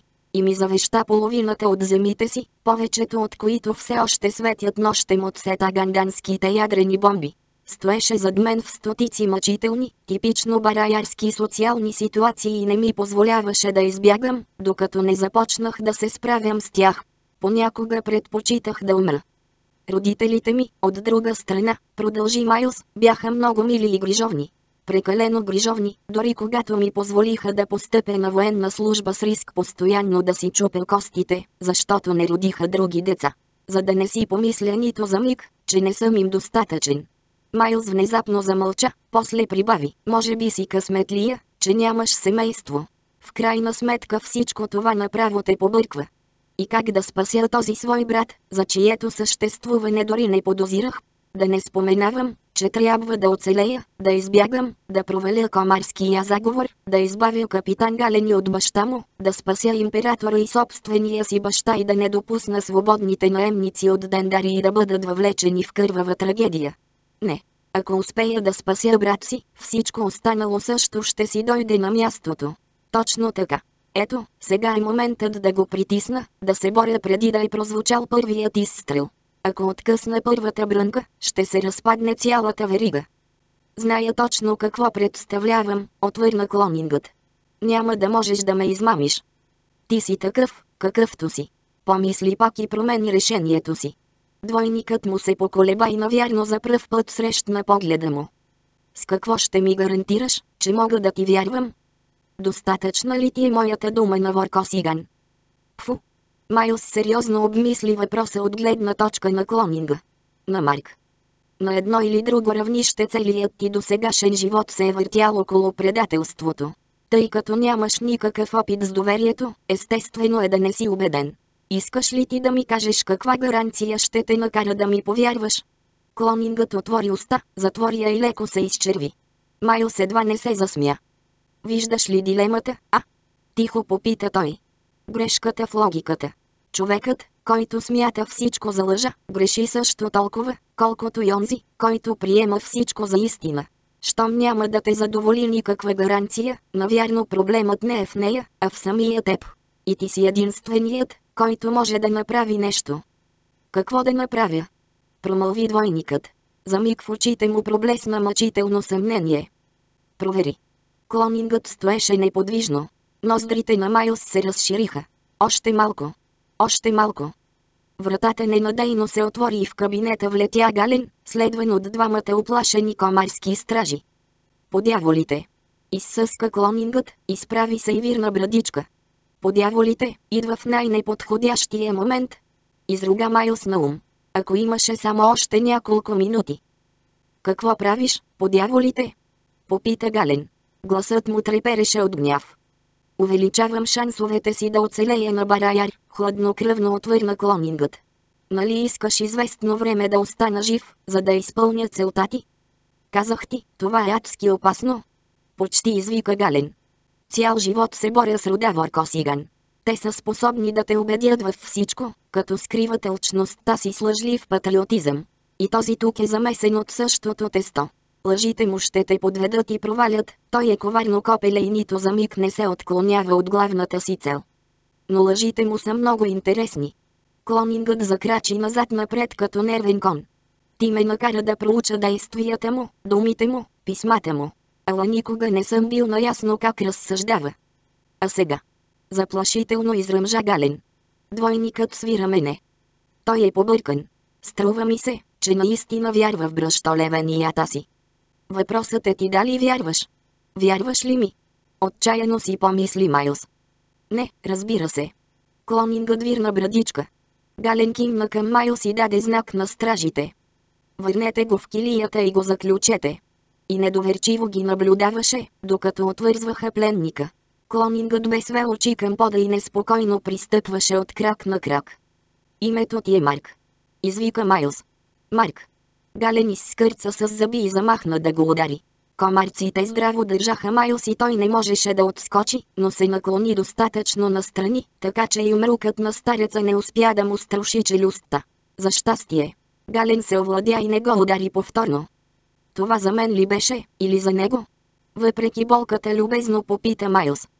Заключете го, изръмжа Гален. И повече не го пускайте, докато лично не ви наредя. Два на два, помисли си Майлс, докато стражите го влачеха към асансьора. Или поне на едно и половина. Никога няма да имам по-добър шанс, а времето ми е на изтичане. Гален изпеше на пейката си. Капитанът бе прекарал предишната нощ в нервно, почти безумно крачене из стаята, ала сега сънят най-после беше надделял. Сега, точно когато трябваше да е на крака и готов за действие. Въпреки това Майлс опита. Галени. Извика той. Сега, галени, хайде! И в същото време се хвърли назад към по-близкия от стражите и го удари по дясната ръка, в която държеше за шеметите ляси. И май си щупи един пръст, но успя да избие оръжието и го изрита по пода към капитана, който объркано се надигаше от пейката. Независимо от полубудното си състояние, Гален реагира светкавично и точно, метна се към зашеметите ля и се претърколи настрани, за да не го улучи другият страж. Обезоръженият комарец обви ръка през шията на Майлз, повдигна го от пода и се извъртя с лице към другаря си. Малкият си в правоъгълник на дулото на втория зашеметител се озова толкова близо до лицето му, че Майлз почти трябваше да събере очи, за да го види. Стражът натисна спусъка и главата му избухна от болка и пъстра светлина. Глава 11. Дойде на себе си в болнично легло, неприятна, но позната обстановка. Небостъргачите на Ворбар Султана, столицата на Бараяр, излъчваха странно зелено сияние в мрака зад прозореца. Имперската военна болница. Стаята не беше мебелирана в строгия стил от детските му спомени, когато го водеха в клиничните лаборатории и хирургии толкова често, че възприемаше болницата като втори роден дом. Влезе лекар. 60 на годишен, къса сива коса, светло набръчкано лице, натежало от възрастта тяло. Доктор Гален, пишеше на табелката на гърдите му. В джобовете му подрънкваха спринцовки. Сигурно се размножаваха там вътре. Майлз винаги се бе чудил откъде идват спринцовките. А, значи си буден, весело каза лекарът. Този път няма да ни избягаш, нали? Да избягам ли? От ръцете му излизаха венозни системи и сензорни кабели. Едва ли можеше да избяга някъде. Кататония. Мъглявата земя на откачените. Куко. С една дума – лудост. Накратко, това е единственият начин да избягаш, струва ми се. Предава се по наследство. Майлс чу в ушите си шепота на червените си кръвните отца, които си споделяха хиляди военни тайни и пиянски се клатушкаха в селски танц с молекулите на фаст пента, развяващи хидроксилните си групи като фусти, и запремигва, за да отпъди образа. Гален затършува в джоба си и изражението му се промени. Ох! Той рязко извади ръката си, запрати на пода забилата се в пръста му с принцовка и лапна окървавения си палец. Тази градинка ме ухапа. Лекарят погледна надолу към пода, където новородената спринцовка неуверено се олюляваше на металните си крачета и я смачка с крак. Тя умря с тънко изпискване. Такова психическо състояние изобщо не е необичайно за съживените криотрупове, разбира се. Ще ти мине, увери го доктор Гален. Мъртъв ли бях? Убит на земята. Прекара една година в криогенен сън. Странно, Майлс си спомняше това време. Лежеше в стъклен ковчег като приказна принцеса, омагьосена от зла вещица, докато зад заскреженото стъкло безшумно се движеха призрачни фигури. И вие ме съживихте, така ли? А, не. Тялото ти се развали. Най-тежкият случай на измръзване, който можеш да си представиш. Майлс смутено замълча, после тихо прибави. В такъв случай още съм мъртъв. Може ли на погребението ми да има коне като на това на дядо? Не, не, не, разбира се, че не, закуткудяка доктор Гален. Не ти позволихме да умреш, родителите ти за нищо на света не биха го допуснали. Трансплантирахме мозъка ти. За щастие, имахме под ръка друго тяло. Почти неизползвано. Моите поздравления, сега отново си девствен. Нали беше много хитро от моя страна да ти приготвя клонинг? Моят кло. Моят брат. Марк, Майлс рязко се надигна и системите се откъснаха от ръцете му. Разтреперен, той грабна закрепената на леглото сива табла и се втренчи в полираната и метална повърхност. По челото му минаваше голям черен шеф. Той ужасено погледна ръцете си. Боже мой, аз съм затворен в труп. После отново вдигна очи към Гален. Щом аз съм тук, какво сте направили с Марк? Къде сте сложили мозъка, който беше в тази глава? Гален посочи с ръка. На шкафчето до леглото имаше голяма стъкленица. В нея плуваше мозък, като гъба на стъбло, мъртъв и зловещ. Течността около него изглеждаше гъста и зеленикава. Не, не, не! Извика Майлз. Не, не, не! Скочи от леглото и грабна стъкленицата. Студената течност оплиска ръцете му. Втурна се бос в коридора. Болничната нощница се разтвори на гърба му. Някъде наоколо трябваше да има тела, това бе имперската военна болница. Внезапно си спомни къде е оставил такъв труп.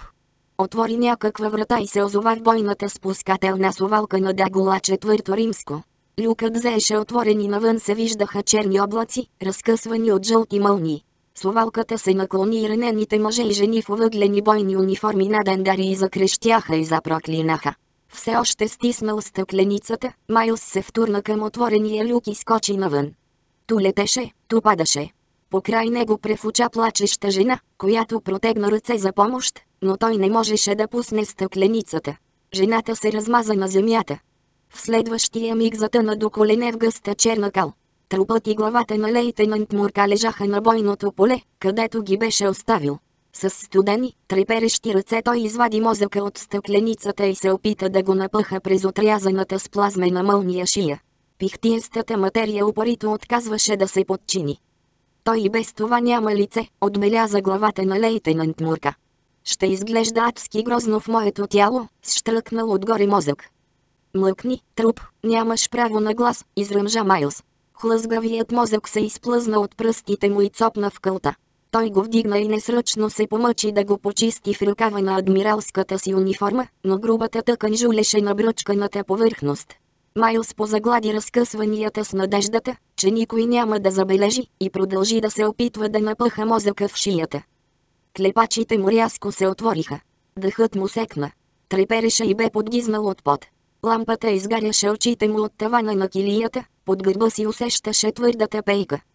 Слава Богу! Въздъхна той. Галени загрижено стоеше до него и се подпираше с една ръка на стената. Добре ли си? Майлс мъчително преглътна и си поедах. Знаеш ли, когато е сънувал кошмар, човек се радва, че се е събудил дори тук.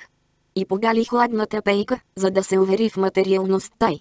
Другата му длан не откри шевове по челото му, макар че чувстваше главата си така, все едно го е оперирал самолук хирург. Майлз запремигва, стисна клепачи, отново погледна и с усилие се повдигна, на лакът. Лявата му ръка беше подута и болезнено пулсираше. Какво стана? Завършихме наравно. С единия страж взаимно се зашеметихме. За съжаление, бяха двама. Свестих се преди около час. Не зная колко време сме били в безсъзнание. Прекалено много. Обаче беше добър опит. Проклятие. Той понечи да удари с болната си ръка по пейката, но се овладя на време. Жалко. Още малко и щеше да отстъпи. Кой, стражът ли? Изглеждаше тъкмо обратното. Не, моят клонинг. Моят брат. Връхлетяха го спомени от кошмара му и той потръпна. Хлъзгаво създание. Струва ми се, че се бои да не свърши в стъкленица. Моля. Ох! Майлс се опита да седне. От зашеметяването му се гадеше. Мускулите на ръцете и краката му бяха схванати. Очевидно в по-добра форма, Галени се замъкна на пейката си и седна. Малко по-късно вратата се отвори. Вечерята, помисли си Майлз. Стражът насочи зашеметите ляси към тях. Ставайте, и двамата. Другият го пазеше на няколко метра отзад. На Майлс не му харесаха лицата им, единият тържествен и блед, другият нервно усмихнат. Галени, на излизане предложи той с доста пописклив глас, отколкото му се искаше, мисля, че вече трябва да поговориш с баща си. Изражението на комареца се промени, първо гневно, после упорито, след това замислено и накрая скептично. Насам, посочи към асансьора стражът. Спуснаха се в подземния гараж. За разлика от мен, ти можеш да го направиш, прошепна Майлз. Галени изсъска през зъби, раздразнение, съгласие, решителност. После рязко се обърна към по-близкия страш и неохотно рече. Искам да говоря с баща си. Не може. Мисля, че е по-добре да ми позволите, заплашително каза капитанът. Не зависи от мен. Той ни даде заповед и излезе. Няма го. Повикайте го. Не ми каза къде отива, ядосано отвърна стражът. А дори да знаех, нямаше да го повикам. Застания и там до онзи автолет. Как ще го направите? Неочаквано попита Майлз. Наистина съм любопитен. Приемете го като последно желание. Той закрачи към автолета, като търсеше с поглед къде да се скрие. Ако успееше да залегне зад машината преди да стрелят. Ще ви зашеметим, ще ви натоварим на автолета и ще ви хвърлим във водата над южното крайбрежие, отсечено отвърна стражът. Ако тежестите, за които ви завържим, се откачат и морето ви изхвърли на брега, аутопсията ще покаже само, че сте се удавили. Даде, така ще ви е по-лесно, каза Майлз. Ако не грешеше, тези мъже не бяха професионални убийци. И все пак за всяко нещо си имаше пръв път. Близката колона не бе достатъчно широка, за да спре зашеметителна мълния. Тезгяхът с инструменти до отсрещната стена изглеждаше по-подходящ. Мускулите на краката му болезнено се напрегнаха. И палача на комар най-после ще си получи заслуженото, каза стражът с тържественото лице. Непряко. И повдигна зашеметите ляси. Чакайте. Извика Майлз. Какво да чакаме? Майлс отчаяно се чудеше какво да им отговори, когато вратата на гаража ненадейно се отвори. Мен. Извика Ели Куин. Не мърдайте. Покрай нея префуча патрул на Дендари. Докато стражът се обръщаше, за да стреля, един от наемниците го свали на земята. Вторият комарец изпадна в паника и се хвърли към асансьора. Затичалият се след него войник го настигна и за секунди го просна по лице с ръце на гърба. Ели се приближи до Майлс и гален и извади от ухото си аудиосензор. Мили Боже, Майлс, не можах да повярвам, че чувам твоя глас. Как го направи? Той хвана ръцете и ги целуна. Може би щеше да е по-подходящо да отдаде чест, но адреналинът продължаваше да канти в ушите му и това бе първата му реакция. А и не носеше униформа. Ели, ти си гениална. Трябваше да се сетя, че клонингът няма да те заблуди. Тя го погледна и едва не отскочи. Какъв клонинг? Как какъв клонинг? Нали за това си тук? Той се е издал и ти си дошла да ме спасиш. Нали?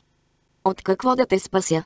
Майлз, преди седмица ти ми нареди да открия капитан Галени, спомняш ли си? А, рече той. Да, точно така. И ние го открихме. Цяла нощ чакахме в този квартал, за да засечем неговите гласови частоти, за да можем да уведомим местните власти. Те не обичат фалшивите тревоги. Но онова, което накрая регистрираха сензорите ни, предполагаше, че е по-добре да не чакаме полицията, затова рискувахме. Представях си как арестуват всички ни за влизане с взлом. До тях се приближи сержант от Дендари и отдаде чест. Подяволите, господин адмирал, как го направихте? И без да изчака отговор, продължи нататък с скенер в ръка. Само за да открием, че ти си ни изпреварил. Хеме, в известен смисъл, да. Майлз заразтрива пулсиращото си чело. Галени се почесваше по брадата и мълчаливо слушаше. Спомняш ли си оная история с инсценираното отвличане от преди 3-4 дни, когато исках да проникна в опозицията и да открия кои са и какви са целите им? Да. Е, Майлз дълбоко си поедах, получи се.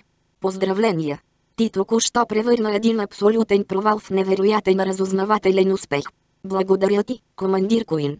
Между другото, човекът, с когото излезе от оная изоставена къща, не бях аз. Очите на Ели се разшириха и тя притисна длан към устата си. После тъмните изеници се стесниха. Копеле.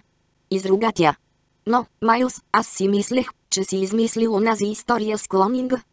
И аз така мислех. Но всичко се промени. Значи има. Значи той е истински клонинг, така ли? Поне така твърди той. Отпечатъци от пръсти, ретина, гласови частоти, всичко съвпадало. Слава богу, има една сериозна разлика. Ако ми направиш рентгенова снимка, ще установиш следи от ужасно много стари фрактури, като не смяташ синтетичните кости на краката ми. Неговите са здрави. Или поне така казва той. Майл спъхна под мишница пулсиращата си лява ръка. Мисля за сега да си оставя брадата, за всеки случай. После се обърна към капитан Галени и почтително попита. Какво ще предприемем? Какво ще предприеме имперската служба за сигурност, господин капитан? Наистина ли ще уведомим местните власти? А, значи пак съм господин капитан? Промърмори Галени. Разбира се, че ще съобщим на полицията. Не можем да екстрадираме тези хора. Но след като вече са извършили престъпление според законите на земята, земяницките власти ще ги задържат. Това ще сложи край на цялото радикално отцепническо крило. Майлс потисна напрежението си и се опита да говори спокойно и логично. Но един публичен процес ще разкрие историята с клонинга. С най-големи подробности. Това ще привлече излишно внимание към мен. Включително сета ганданско внимание, уверявам ви.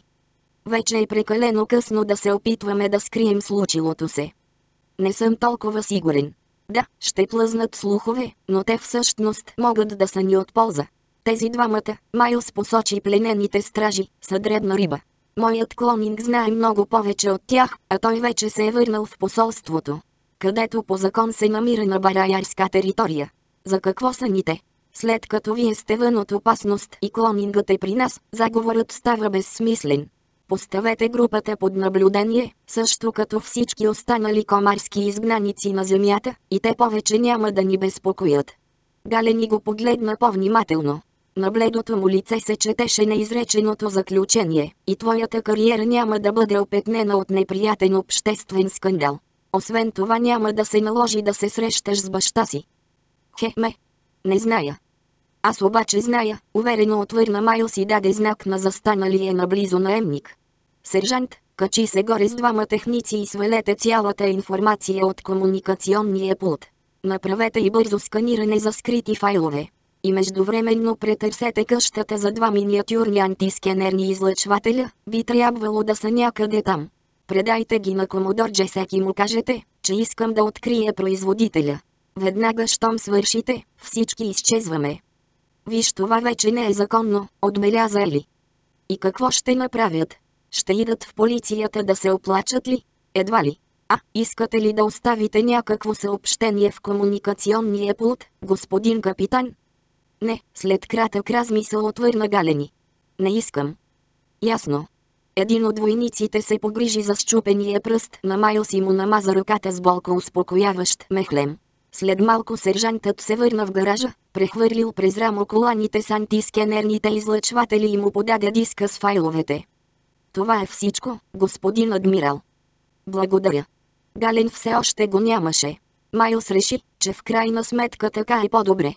Той коленичи до останалия в съзнание комарец и притисна за шеметите лядо слепоочието му. Какво ще правиш? Изхриптя стражът. Майлс се усмихна. Ами ще те зашеметя, естествено, ще те натоваря на автолета и ще те хвърля във водата над южното крайбрежие. Какво друго? Лека нощ. Оръжието изсъска и комарецът неподвижно се отпусна. Оставиха двамата си похитители да лежат един до друг на пода в гаража и на излизане грижливо заключиха вратите. Сега към посолството, за да пипнем онова гадно копеле, мрачно каза Ели Куин, докато набираше маршрута в пулта на взетата под наем кола. Останалите от патрула се оттеглиха и заеха наблюдателни позиции. Майлс и Галени седнаха на задната седелка. Капитанът изглеждаше също толкова изтощен, колкото се чувстваше Майлс. Копеле ли? Въздъхна той. Не. Може да е всякакъв, но се боя, че не е копеле. Първо го хвани, измърмори Галени. После се чуди какъв е. Съгласен съм, отвърна Майлс. Как ще влезем? Попита Галени, когато наближиха посолството. Има само един начин, рече Майлс. През главния вход. Спри отпред, Ели. Двамата офицери от имперската служба се спогледаха и се засмяха. Брадата на Майлз бе по-къса от тази на капитана. В крайна сметка Галени имаше четиридневна преднина, но напуканите му устни, синините и засъхналата кръв по ризата му го компенсираха, реши той. Освен това Галени беше намерил бутушите и униформената си куртка в къщата на комарците. Навярно клонингът бе взел неговите. Майлс не знаеше кой от двамата смърди по-силно, Галени беше останал в плен по-дълго, но той се бе потил повече а нямаше намерение да помоли Ели Коин да прецени вместо него. Потръпващите устни и присвитите очи на комареца предполагаха, че изпитва същото безумно облегчение, каквото клокочеше в собствените му гърди. Бяха живи и дори само това беше цяло чудо. Качиха се по рампата рамо до рамо. Ели ги следваше и с любопитство наблюдаваше представлението. Часовият на входа инстинктивно отдаде чест и в следващия миг на лицето му се изписа удивление. Капитан Галени. Вие се върнахте. И, хе-ме. Той погледна към Майлс и зяпна. Вие, господин лейтенант. Галени учтиво отвърна на поздрава му и каза. Повикайте лейтенант Ворпатрил, моля. Само Ворпатрил. Слушам, господин капитан. Без да откъсва очи от тях, часовият заговори в комуникатора на китката си. Продължаваше да наблюдава Майлс извънредно озадачено. Хе-ме, радвам се, че се върнахте, господин капитан. Аз също, ефрейтор. След миг Иван изскочи от асансьора и се затича към тях през мраморното флайе. Боже мой, господин капитан, къде бяхте? Извика той изграбчи галени за раменете. После се опомни и отдаде чест. Отсъствието ми не беше доброволно, уверявам ви. Капитанът подръпна едното си ухо, премигна и прокара ръка по брадата си, очевидно трогнат от радостното вълнение на Иван. По-късно ще ви обясня подробно, а сега, лейтенант Дворко Сиган, може би е време да изненадаме, хе-ме, другия ви роднина. Иван погледна Майлз. Значи са те пуснали, така ли? След което внимателно се вгледа в лицето му яхна. Майлз. Майлз се усмихна и му даде знак да се отдалечат от хипнотизирания часови. Когато арестуваме другия лейтенант Дворко Сиган, ще разбереш всичко. Между другото, къде е той? Иван сви устни. Майлз. Да ме побъркаш ли искаш? Хич не е смешно. Нищо подобно. Аз не съм човекът, с когото си живял в една стая през последните 4 дни. Аз бях с капитан Галени. Една комарска революционна група се опита да ти пробута самозванец. Мой клонинг. Само не ми казвай, че не си забелязал нищо. Ами. Засрамено започна Иван, през последните дни наистина ми се стори малко, хе-ме, странен. Ели замислено кимна. Явно се чувстваше на смущението му. В какъв смисъл? Попита Майлз. Ами, виждал съм те побъркан. Виждал съм те и потиснат. Но никога не съм те виждал. Е, безразличен. И въпреки това не си заподозрял нищо, така ли? Толкова ли приличаше на мен? А, първата нощ доста се зачудих. И какво? Извика Майлз. Искаше му се да го оскубе. И реших, че не е възможно. В края на краищата преди няколко дни самият ти измисли оная история с клонинга. Сега ще ти демонстрирам удивителната си прозорливост. Къде е той? Ами, тък му за това се изненадах, че те виждам. Галени стоеше с скръстени ръце, опрял брадичка върху дланта си. Устните му едва забележимо помръдваха, навярно броеше до 10. Защо, Иване? Попита той накрая. Боже мой, още не е заминал за бараяр, нали? Настойчиво попита Майлз. Трябва да го спрем. Не, не, отвърна Ворпатрил. В полицията е. Затова всички в посолството сме толкова развълнувани. Къде е? Изръмжа Майлс и сграбчи Иван за реверите с здравата си ръка. Успокой се, нали това се опитвам да ти обясня? Ворпатрил погледна побелелия му юмрук. Да, така е по-добре. Преди два часа пристигна полиция и те арестува. Него де. Хеме, всъщност не го арестува, но имаха заповед, забраняваща ти да напускаш града. Ти. Той изпадна в паника, защото това означаваше, че ще изпусне кораба си. Между другото, до вечера заминаваш. Отведоха те на разпит, за да се уверят, че имат достатъчно улики, за да ти предявят официално обвинение. Какво обвинение? Какви ги приказваш, Иване? Е, тъкмо за това всичко е толкова объркано. Подозират те в заговор за извършване на убийство. По-точно, че си наел онези двама главорези, които миналата седмица се опитаха да убият адмирал Нейсмит на космодрума. Майл си спъшка. Посланникът праща възражения до всички възможни инстанции. Естествено не можехме да му обясним защо смятаме, че полицията греши. Майл схвана Коин за лакътя. Не изпадай в паника. Не изпадам в паника, отвърна Ели. Ти се паникьосваш. Много е забавно. Той притисна челото си с длани. Ясно, ясно. Да речем, че не всичко е изгубено. Да речем, че хлапето не е изпаднало в паника. Че не се е прекършило. За сега. Да речем, че е възприело високомерна аристократична позиция и презрително отказва да отговаря на въпросите им. Той го умее много добре, мисли си, че така би трябвало да се държат бараярските аристократи. Малък лайнар. Да речем, че още се държи. Остави предположенията, каза Иван. Какво ще правим? Ако побързаме, можем да спасим. Твоята репутация ли? Попита Ворпатрил. Твоя. Брат ли? Обади се Галени. Себе си ли? Присъедини се към Хораели. Адмирал Нейсмит, довърши Майлз. В момента е в опасност единствено той. Ели срещна погледа му и тревожно повдигна вежди. Ключовата дума е прикритие.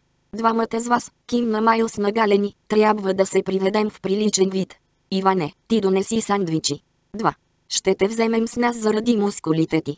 Ели, ти ще шофираш. Къде отиваме? Попита Коин. В съда. Да спасим бедния, несправедливо обвинен лейтенант двор Косиган. Който ще ни е признателен, независимо дали го желае. Иване, освен сандвичите вземи и спринцовка с 2 кубически сантиметра толизон. Почакай, Майлз, каза Ворпатрил. Щом посланикът не успя да му помогне, как ще го направим ние? Майлз се усмихна. Не ние. Адмирал Нейсмит. Лондонският градски съд се помещаваше в голяма, строена преди два века сграда от черен кристал, заобиколена от подобни постройки в квартал, датиращ от още по-древни времена и напомнящ за експлозиите и пожарите от петите граждански безредици. Тук развитието на града като че ли бе спряло. Лондончани упорито се бяха вкопчили в останките от миналото си, имаше дори инициативен комитет за спасяването на особено грозните руини от края на 20 век. Майлс се зачуди дали след хиляда години Ворбар Султана, който в момента се разширяваше с бясна скорост, ще изглежда така, или, в стремежа си да се модернизира, ще унищожи следите от миналото си. Той спря в просторното флайе, оправи адмиралската си униформа и попита Коин. Вдъхвам ли уважение? Брадата ти придава малко. Той припряно я приглади. Елегантен вид ли? Или ме прави по-възрастен? Заплашителен. Ха! Четиримата се качиха с асансьора на 97 етаж. Залау, след като влязоха в файловете му, съобщи информационният пулт. 19-та кабина. В кабина 19 имаше терминал на Европейския електронен съд, както и живо човешко същество, сериозен млад мъж. А, инспектор Рид, очарователно му се усмихна Ели. Пак се срещаме. Инспектор Рид беше сам. Майл едва потиска паниката си. Инспектор Рид се занимава с онзи неприятен инцидент на космодрума, господин адмирал, поясни ли, помислила прокашлянето му за молба да ги запознае и да превключи на професионален режим. Инспектор Рид, адмирал Нейсмит. При последното ми идване тук двамата доста си поговорихме. Разбирам, отвърна Майлс и си придаде любезно изражение. Рид откровено му се озъби. Странно. Значи вие наистина сте клонинг на Воркосиган? Предпочитам да мисля за него като за свой близнак, отби удара Майлз. Обикновено правим всичко възможно, за да не се срещаме. Виждам, че сте разговаряли с него. Да, не ми оказа голямо съдействие. Рид колебливо местеше поглед между Майлз, Ели и двамата униформени бараярци. Всъщност се държеше доста неприятно. Представям си. Напипали сте болното му място. Той е болезнено чувствителен във всичко, свързано с мен. Предпочита да не му напомнят за моето съществуване. О, защо? Съперничество между братя, импровизира Майлз. Аз постигнах повече от него във военната кариера. Той го приема като обида, като петно върху собствените му блестящи постижения. Господи, няма ли някой да ме измъкне? Погледът на Рид ставаше все по-подозрителен. Моля ви, на въпроса, адмирал Нейсмит, изсумтя капитан Галени. Благодаря ти. Разбира се. Инспектор Рид, аз не претендирам, че съм приятел с Ворко Сиган, но как стигнахте до това любопитно, но невярно заключение, че се е опитал да ме убие по този ужасен начин? Случаят беше много заплетен. Двамата неуспели убийци, Рид хвърли поглед към Коин, бяха мъртви. Затова тръгнахме по други следи. Надявам се, че не сте приели сериозно Лиз Валери, нали? Боя се, че малко я подведох. Неуместно чувство за хумор. Предположенията ми се сториха интересни, но не и убедителни, отвърна Рид. В миналото Валерия е проявявала забележителни детективски качества. И често ми е правила услуги, като ми е предавала интересна информация. С какво се занимава сега? Попита Майлз. Инспекторът го изгледа. С незаконното клониране. Навярно можете да я насочите. Хеме. Опасявам се, че познанията ми по въпроса са остарели с 20 на години. Е, в този случай уликите бяха съвсем явни. По време на опита за убийство са видели от космодрума да отлита гравитокар, който нямал разрешение от контролната кула. Проследихме го до бараярското посолство. Сержант Барт. Галени изглеждаше така, като че ли се канеше да се изплюе. На лицето на Иван се беше изписало онова любезно, малко идиотско изражение, с което в миналото братовчет му винаги минаваше за абсолютно невинен. А, това ли, спокойно отвърна Майлз. Нали разбирате, колкото и да е досадно, бараярското посолство постоянно ме следи. Не, в този случай според мен са замесени сета ганданците. Последните операции на Дендари в тяхната зона на влияние, далеч извън вашата юрисдикция, извънредно ги разгневиха. Но не съм в състояние да го докажа и тъкмо за това оставих въпроса във ваши ръце. А, забележителната спасителна акция на Дагула. Чух за това. Сериозен мотив. По-сериозен, уверявам ви, отколкото старата история, която споделих с Лиз Валери. Това обяснява ли недоразумението? Какво ще получите от Бараярското посолство в замяна за тази услуга, адмирале? За моето добро дело ли? О, имате право, предупредих ви за чувството си за хумор. Нека кажем само, че наградата ми е достатъчна. Нищо, което може да се възприеме като възпрепятстване на правосъдието, надявам се. Иронично повдигна вежди Рид. Аз съм жертвата, не забравяйте, Майлс прехапа език. Наградата ми няма нищо общо с английското правосъдие, уверявам ви. Междувременно, мога ли да ни помоля да предадете бедния лейтенант Косиган на неговия командир капитан Галени? Лицето на Рид подозрително се напрегна. Какво има, подяволите? Зачуди се Майлз. Това трябваше да го успокои. Инспекторът замислено сключи длани пред лицето си, изгледа ги и каза. Преди един час лейтенант Косиган си тръгна с човек, който се представи като капитан Галени. Ах, рече Майлз. Възрастен мъж в цивилни дрехи, нали? Едър, почти побелял. Да. Майлз си поедах и се насили да се усмихне. Благодаря ви, инспектор Рид. Няма да отнемаме повече от ценното ви време. Когато излязоха в флаието, Иван попита. Ами сега. Струва ми се, каза капитан Галени, че трябва да се върнем в посолството. И да пратим пълен доклад в щаба. Бързаш да се изповядаш, а? Не, не, няма да пращаме предварителни доклади, възрази Майлз. Само окончателни. Предварителните доклади обикновено водят до получаване на заповеди, на които или трябва да се подчиниш, или да изгубиш ценно време и енергия, за да ги избегнеш. Интересна философия. Трябва да я имам предвид. Вие споделяте ли я, командир Куин? О, да. Трябва да е много приятно да работиш в свободните наемници от Дендари. Тя се подсмихна. Да, изключително. Глава 12. Въпреки това се върнаха в посолството, галени, за да нареди на хората си да започнат разследване на куриера, Майлз, за да се преоблече в зелената си бараярска униформа и да се отбие при лекаря. Ако след тази каша в живота му настанеше известно затишие, навярно щеше да подмени всичките си кости с синтетични. Операцията на краката му бе болезнена и досадна, но отлагането на тази на ръцете нямаше да я направи по-лека. А вече определено не можеше да се заблуждава, че продължава да расте. С тези мрачни мисли той напусна клиниката и слезе на подземния етаж, където се намираха офисите на службата за сигурност. Завари галени сам пред пулта си, вече беше разпратил подчинените си по различни задачи. Лампите в кабинета бяха угасени. Той седеше отпуснат, вдигнати върху бюрото кръка. Майлс остана с впечатлението, че капитанът би предпочел вместо лазерната писалка, която в момента прехвърляше в ръце, да държи бутилка. Галени тъжно му се усмихна, свали краката си и започна да почуква с писалката по бюрото. Мислих по въпроса, Ворко Сиган. Опасявам се, че може би все пак ще се наложи да уведомим местните власти. Иска ми се да не го правите, господин капитан. Майлс си придърпа стол и го възседна с лице към облегалката. Ако ги замесим, последствията ще излязат извън контрола ни.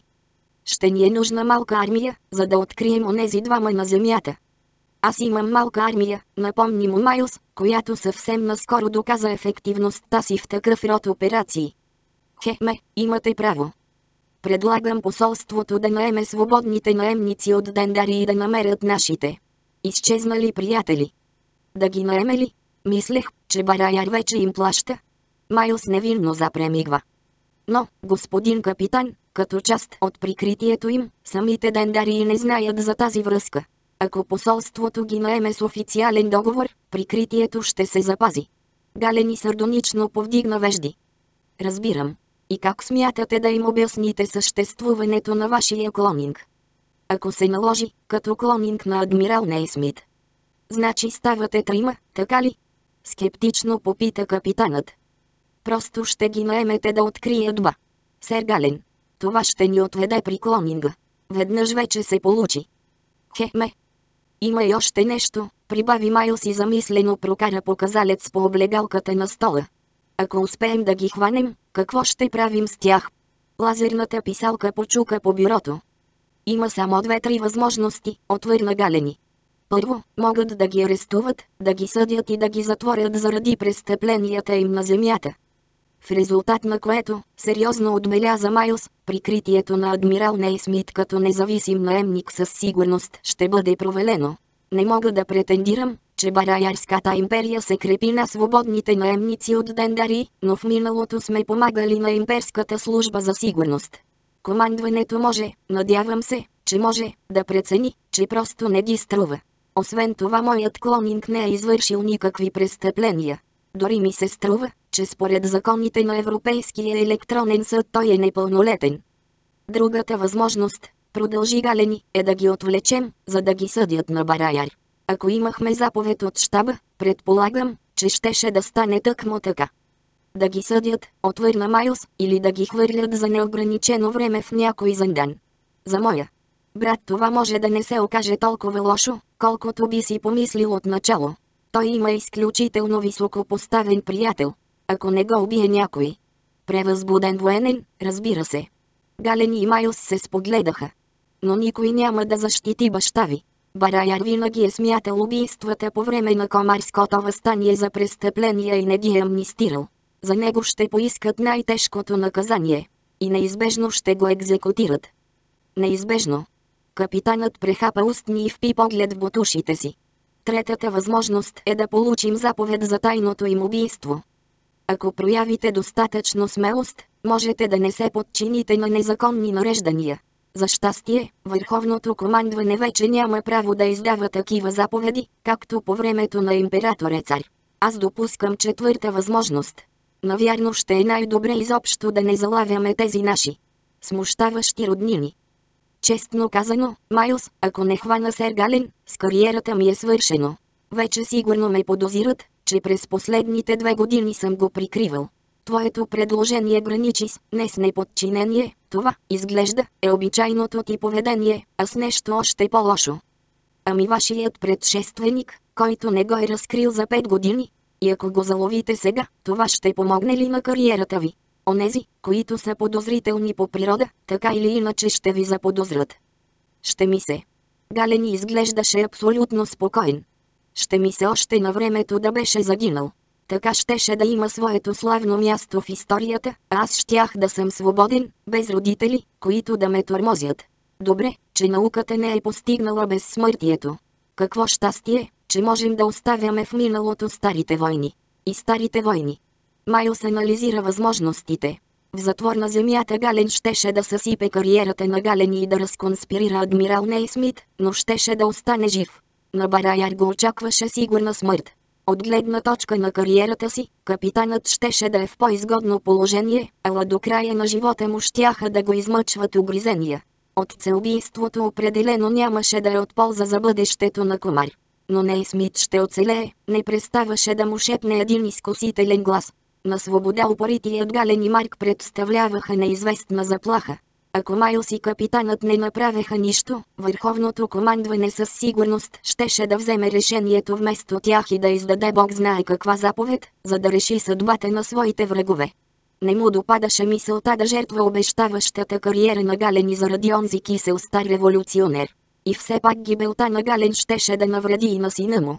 По дяволите, защо старецът не се оттегляше в някой тропически рай, вместо да се пречка в краката на по-младото поколение? Задължително пенсиониране на революционерите, ето от какво се нуждаеха сега. Решението е мое, каза Галени. Трябва да ги открием. Двамата уморено се спогледаха. Компромис, предложи Майлз. Пратете наемниците на Дендари и да ги намерят и да ги наблюдават. За сега не се опитвайте да ги заловите. Това ще ви даде възможност да използвате ресурсите на посолството за проблема с куриера, който си е чисто вътрешен бараярски въпрос. Последва мълчание. Съгласен съм, накрая отвърна капитанът. Но каквото и да се случи, искам бързо да свършим с това. Съгласен съм, повтори думите му Майлз. Завари е ли да седи сама в кафенето на посолството, уморено надвесена на достатъците от вечерята си, без да обръща внимание на потайните погледи и колебливите усмивки, които й отправяха. Майлс си взе нещо леко за хапване и чай и се настани срещу нея. Ръцете им за миг се докоснаха под масата, после Ели отново опря брадичка върху дланите си. Е, сега какво? Попита тя. Какво е традиционното възнаграждение за добре свършена работа в тази мъжка армия? Тъмните й очи се присвиха. Нова работа. Позна. Убедих капитан Гален и да остави Дендари и да открият Гален, точно както ти ни откри. Между другото, как го направи? С адски много усилия. Първо разровихме цялото невероятно огромно количество информация за комарците, което ти ни прати от посолството. Елиминирахме известните емигранти, децата и така нататък.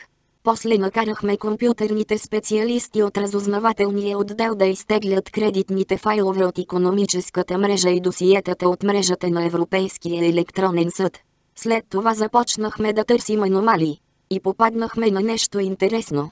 Преди година роденият на земята син на комарски изгнаник бил арестуван от ченгетата за някаква дребна простъпка и се установило, че притежава нерегистриран зашеметител. Тъй като това не е смъртоносно оръжие, само го глобили. Но зашеметителят не бил земяницко производство, а от онези, които преди бяха на въоръжение в бараярската армия. Издирихме го, и физически, и по мрежата, за да проверим кои са приятелите му. В същото време работехме по още няколко възможности, но стигнахме до задънена улица. Аз определено имах предчувствие, че ще попаднем на нещо. Един от познатите на това хлапе, някой си Вандерпул, беше регистриран като емигрант от планетата Мраз четвърто римско. По време на онова разследване за откраднатите гени преди две години бях минала през Джаксън Хол. Майлс кимна. Затова знаех, че там можеш да си купиш фалшиво минало, една от малките, изключително доходоносни услуги, които извършват някои лаборатории наред с новите лица, гласове и отпечатъци от пръсти.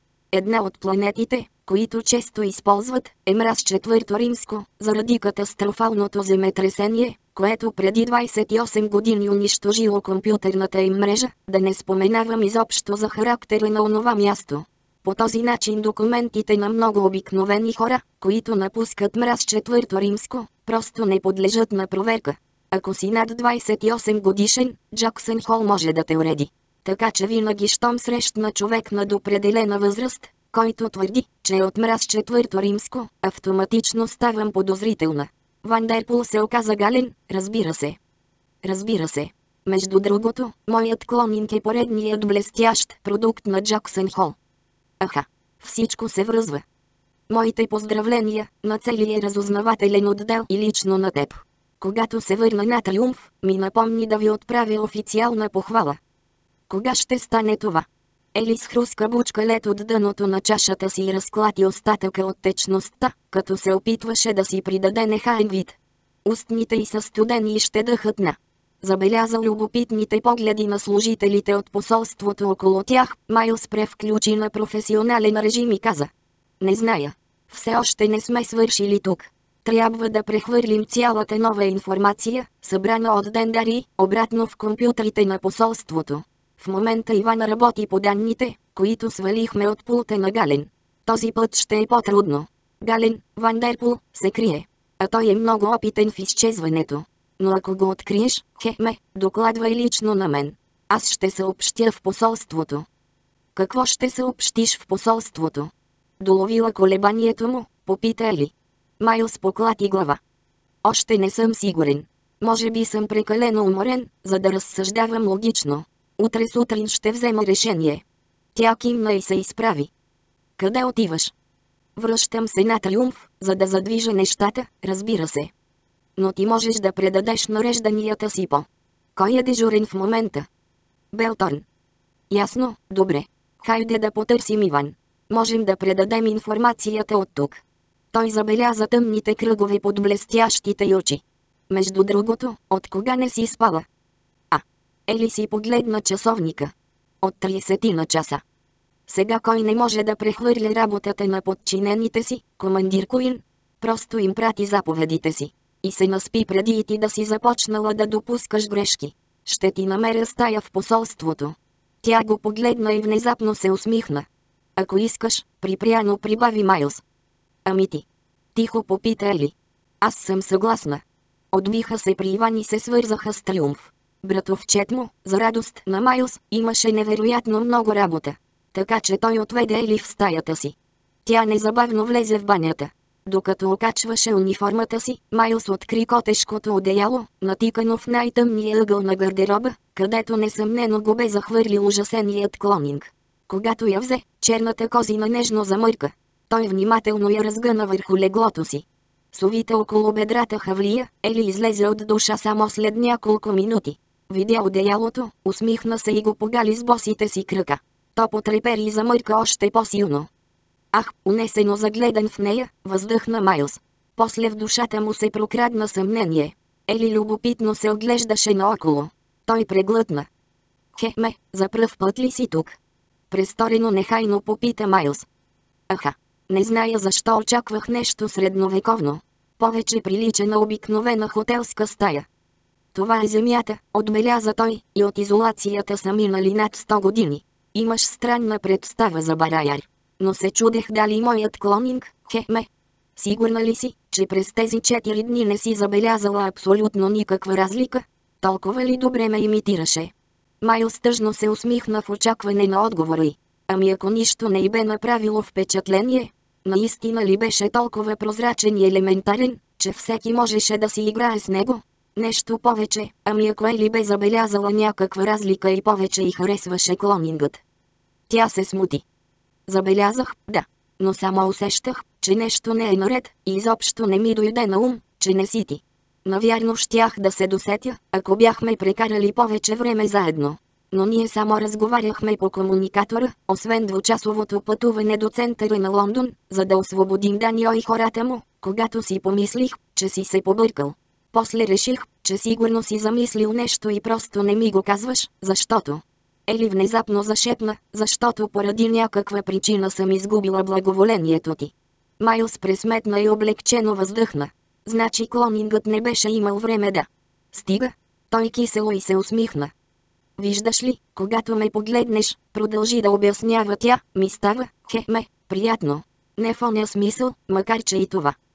В оня смисъл, радостно повтори Майлс и се притисна към нея. Престани, глупчо, говоря сериозно. Но въпреки това го прегърна. Решително, сякаш готова незабавно да влезе в бой с всеки, който се опита отново да й го отнеме. Ти ме караш да се чувствам в безопасност. Не ме е страх от неизвестността, от онова, което си мислят хората. Твоят. Клонинг, господи, какво облегчение е да зная, че е такъв, ме караше да се чудя какво ми е. Макар че когато си помисля колко лесно те отвлякоха онази нощ в изоставената къща, мога. Шете, шете, Майлс притисна показалец към устните й. Нищо ти няма, Ели. Ти си съвършена. Разбираш ли какво искам да кажа? Предполагам, че това ти е спасило живота. Защото трябваше да ти докладвам за издирването на галени, макар и само за да ти съобщя, че не сме постигнали напредък. Но дори и това щеше да му покаже, че го издирваме. А той щеше да ти нареди да преустановите търсенето. Точно така. Но после, когато открихме Гален, реших първо да се уверя. Да те изненадам с окончателния резултат, да си върна благоразположението ти, честно казано. В известен смисъл тъкмо това ме спря да му докладвам. Ако това те успокоява, при него е било почти същото. Ти си го ужасила. Лицето ти, да не споменавам за тялото ти, оказва такова въздействие върху някой мъже. Да, лицето. Тя неволно докосна бузата си, после прокара пръсти през косата си. Мисля, че ти имаш участие в него. Познаваше ме с старото ми лице, познаваше ме и когато бях без лице, а сега и с новото. И единствено за теб то си остава едно и също лице. Майл сплъзна здравата си ръка по извивката на веждите й, по съвършения нос, спря на устните, за да получи целувка, после проследи идеалния ъгъл на брадичката и кадифената кожа на гърлото й. Да, лицето. Тогава бях млад и глупав. На времето ми се стори добра идея. Едва по-късно осъзнах, че за теб може да е била като усъкътяване. Аз също, въздъхна Ели. Отначало бях възхитена. Но втория път, когато един от войниците започна да ме сваля, вместо да изпълни заповедта ми, разбрах, че определено имам проблем. Трябваше да открия и науча всевъзможни трикове, за да карам хората да ме възприемат като личност, а не само като хубава външност. Разбирам. Естествено, че разбираш. Тя го погледна за миг, сякаш го виждаше за пръв път, после го целуна по челото. Едва сега съзнавам, че съм научила много от тези трикове от теб. Боже, колко те обичам! Когато най-после откъснаха устни един от друг, за да си поемат дъх, Ели предложи. Да те разтрия ли? Ти си пиянска мечта, Куин. Той зарови лице в козината и я остави да прави с него каквото пожелае. След пет минути в силните й ръце го напуснаха всичките му амбиции. Освен две. След като задоволиха и тях, двамата заспаха непробудно. Майлс се събуди от чукане по вратата. Върви си, Иване, изпъшка той, потънал в топлата плът и мъркащата козина. Върви да спиш на някоя пейка и. Ели решително се отскубна от прегръдката му, включи лампата, скочи от леглото, облече черната си тениска и сивите си панталони и се запъти към вратата, без да обръща внимание на Майлс, който мърмореше. Не, не, не го пускай. Чукането стана по-силно и по-настоятелно. Майлс. Иван се втурна в стаята. А, здрасти, Ели. Майлс. Братовчет му го разтърси за рамото. Майлс се опита да се скрие под одеялото. Добре, лягай си, промърмори той. Нали не искаш да те завия? Ставай, Майлс. Майлс надигна глава и присви очи от светлината. Защо? Колко е часът? Към полунощ. Хе, ме. Той отново се отпусна под кожата. След всичко, което беше преживял през последните 4 дни, 3 часа сън изобщо не бяха достатъчни. В проява на неподозирана жестокост Иван изтръгна живата кожа от ръцете му и я захвърли настрани. Трябва да станеш, настоя братовчет му. Да се облечеш. И да обръснеш тая идиотска брада. Надявам се, че някъде тук имаш чиста униформа. Иван затършува в гардероба му. А, ето. Майл стромаво улови зелената дреха, която му подхвърли братовчет му, и попита. Да не се е запалило посолството. Почти. Елена Ботари Джесек току-що пристигна от Таукит. Дори не знаех, че си я пратил там. О! Майлс най-после се разсъни. Коин вече бе напълно облечена и прибираше за шеметителя в кобура си. Да, трябва да се облека, естествено. Тя обаче няма да има нищо против брадата. Защото не я е жулила брада, промърмори Ели разсеяно се почеса по бедрото. Майлс потисна усмивката си. Тя му намигна. Навярно не, мрачно отвърна Иван, но едва ли ще хареса особено на комодор Дайстанг. Дайстанг е тук. Очевидно все още му беше останал малко адреналин. Защо?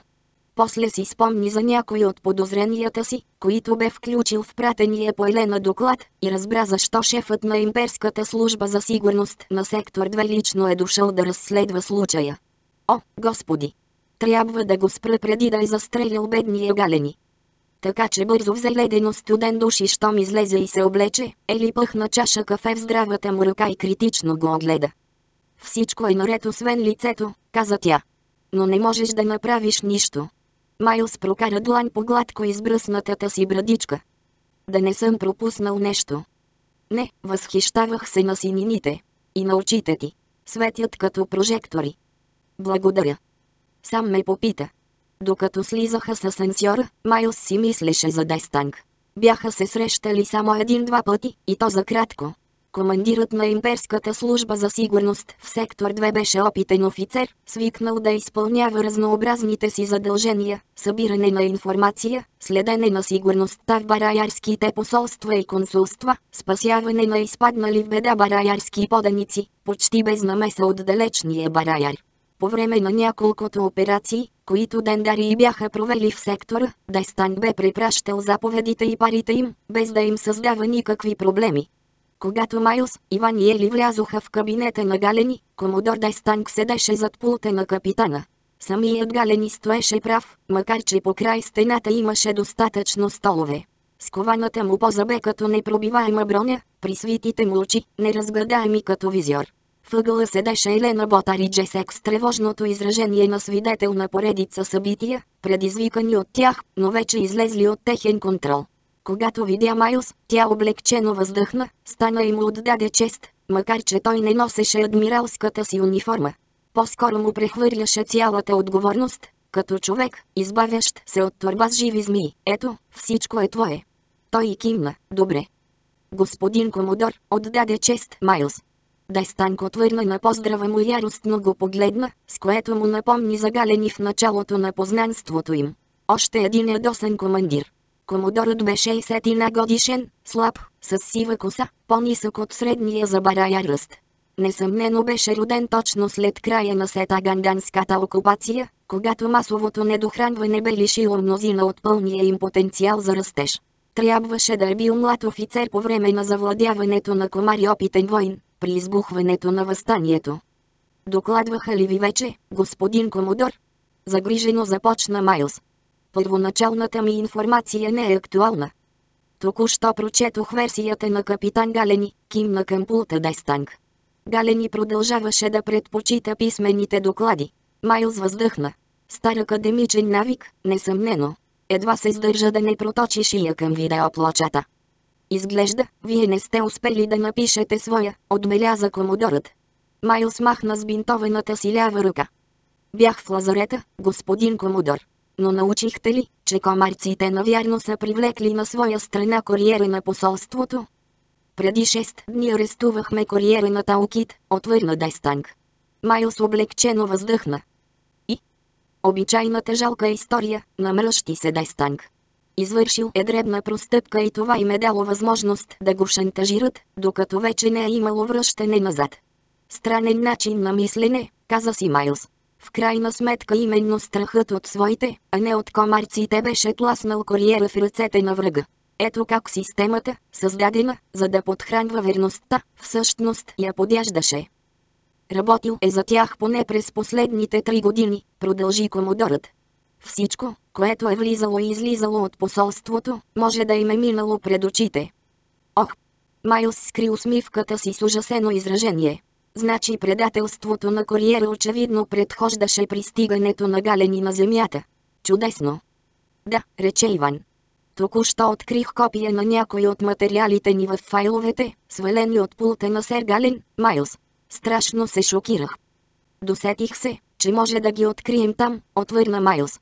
След като разбрах, че са ни измамили, не оставаха много други възможности.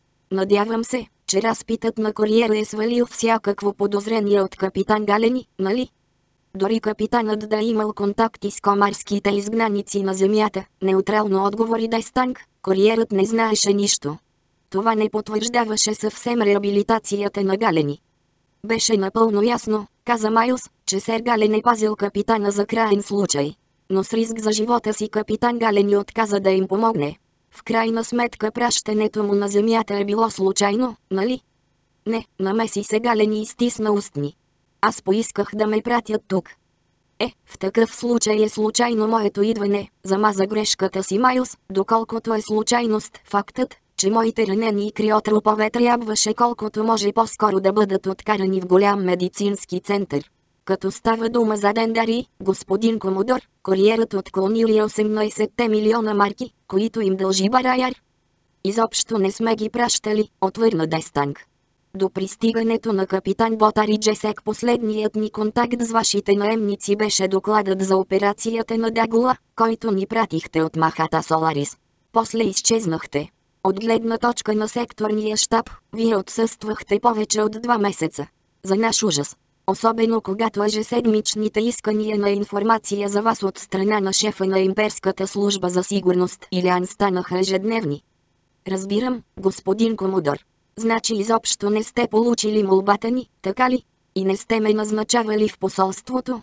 От иначе абсолютно безизразния галени се изтръгна приглушен звук, като от дълбоко сподавена болка. Това е било инсценирано от комарците, поясни Дестанг. Очевидно са искали да ви задържат тук, докато организират подмяната. Така си помислих аз. Хе-ме. Случайно да носите с себе си 18 милиона марки, в това отношение нищо не се е променило. Споменах го в доклада, който ви пратих по капитан Ботар и Джесек. Нееднократно, сухо отбеляза комодорът. Да, лейтенант, ще платим на наемниците ви. Както обикновено. О! Майлс се отпусна и широко се усмихна. Благодаря ви, господин комодор. Дестанк любопитно вирна брадичка. А с какво са живели през последния месец? Ами, малко е сложно, господин комодор. Шефът на секторния щаб отвори уста, сякаш се канеше да зададе нов въпрос, после се отказа. Разбирам. Е, лейтенант, можете да се върнете при хората си. Работата ви тук приключи. А изобщо не е трябвало да се появявате на земята като лорд Варкосиган. Искате да кажете, че ми разрешавате да се върна при свободните наемници от Дендари или, господин Комодор? Съмнявам се, че Саймън Илян праща настоятелни запитвания за тях, защото се чувства самотен. Убеден съм, че веднага щом щабът установи местонахождението ви, ще получите нови заповеди. Бъдете готови за действие. Ели и Елена, които през цялото време тихо бяха разговаряли въгъла, заинтригувано вдигнаха очи към тях. Иван изглеждаше поразен. Слушам, господин Комодор, отвърна Майлз. Как ще уредите проблема тук? Тъй като, слава богу, не сте замесили земяницките власти, можем и сами да се справим с този неуспял опит за измяна. Водя със себе си хора от Таукит. Групата за бързо действие, предположи Майлз, командо си от разузнаването, готови по заповед на Дестанг да възстановят реда в разтърсено от предателство посолство с необходимата сила или хитрост. Ако не го смятахме за мъртъв, Сер Гален отдавна щеше да е в списъка с издирвани от нас лица. Гален, Комодорът поклати глава, като че ли все още не можеше да повярва. Тук на земята през цялото това време. Знаете ли, аз служих по време на комарското възстание, тогава започнах кариерата си в силите за сигурност. Участвах в групата, която ровеше в останките от халамарската казарма, след като уния копелета я взривиха през нощта. Търсехме оцелели улики, но открихме само трупове. На другата сутрин в службата имаше много свободни постове. Проклятие! Спомням си всичко, като че ли беше вчера. Ако успеем да открием Гален, след като сте го оставили да ви се изплъзне, Дайстанг сурово изгледа Галени, случайно или не, ще го отведем на Бараяр, за да отговаря за оная кървава сутрин, ако не за друго. Ще ми се да можеше да отговаря за всичко, но човек умира само веднъж. Също като лудия император Юри. Похвално намерение, господин Комодор, предпазливо отвърна Майлз. Галени здраво стискаше зъби но на земята има десетки бивши комарски бунтовници, извършили също толкова кървави престъпления. След като вече е разкрит, Сергален не представлява по-голяма опасност за нас от тях. Но те са пасивни от години, възрази Дайстанг. Явно в случая с Гален е тъкмо обратното. Но ако сте замислили незаконно отвличане, това може да навреди на дипломатическите ни отношения с земята. Струва ли си? Правосъдието си струва протестната нота, уверявам ви, лейтенант. За Дестанг съдбата на Гален бе решена. Е, въпреки това. Но на какво основание ще отвлечете моя? Клонинг, господин Комодор. Той не е извършил престъпление на Бараяр. Дори не е бил на планетата. Млъкни, Майлз. С все по-тревожно изражение безмълвно помръдна устни застаналият зад Дестанг Иван. Не можеш да спориш с Комодор. Майлз не му обърна внимание. Участта на моя клонинг ме засяга пряко, господин Комодор. Разбирам. Надявам се, че скоро вече няма да има опасност да ви бъркат с него. Няма такава опасност, господин Комодор. Разликата между нас може да се установи с обикновено медицинско сканиране. За разлика от моите, неговите кости са нормални. В какво можем да го обвиним? В измяна, разбира се. Заговор срещу империята. Това вече определено беше вярно. Майлс се съсредоточи върху първата част. Измяна ли? Той е роден на Джаксън Хол. Не е поданик на империята нито по месторождение, нито по натурализация. За да го обвините в измяна, Майлс си поедах, трябва да приемете, че е имперски поданик по происход. А това означава, че е ворски лорд с всички проистичащи от това права, включително правото да бъде съден от равни на него, с други думи, от общата сесия на съвета на графовете. Дестанг повдигна вежди. Дали ще се сети да използва такава необичайна защита? Ако той не се сети, аз ще му я посоча. Защо не? Благодаря ви, лейтенант. Не съм се замислил за такива осложнения. Комодорът наистина изглеждаше огрижен.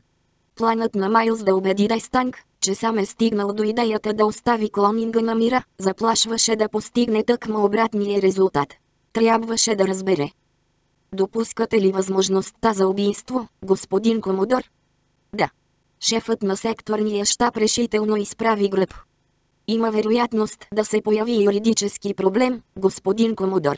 Той или не е имперски поданик и ние изобщо не можем да му предявим обвинение, или ако е, клонингът ми е защитен от имперския закон.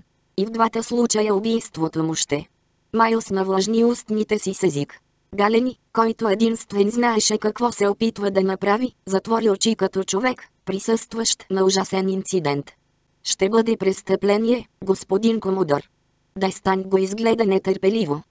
Нямам намерение да давам тази заповед на вас, лейтенант. Мисли си, че не искам да си цапам ръцете.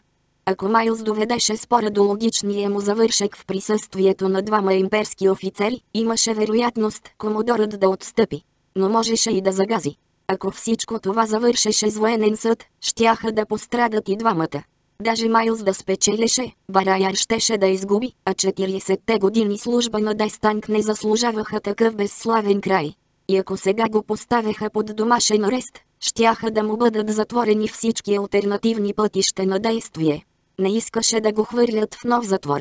Междувременно хората на Дестанг без колебание щяха да изпълнят всяка заповед, която им дадеше. Благодаря ви, господин Комодор, кисело се усмихна той. Иван изглеждаше облегчен. Шефът на секторния щаб се замисли.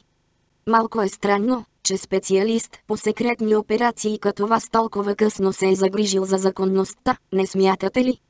Всеки от нас понякога се отклонява от логиката. Коин бе приковала вниманието си към него.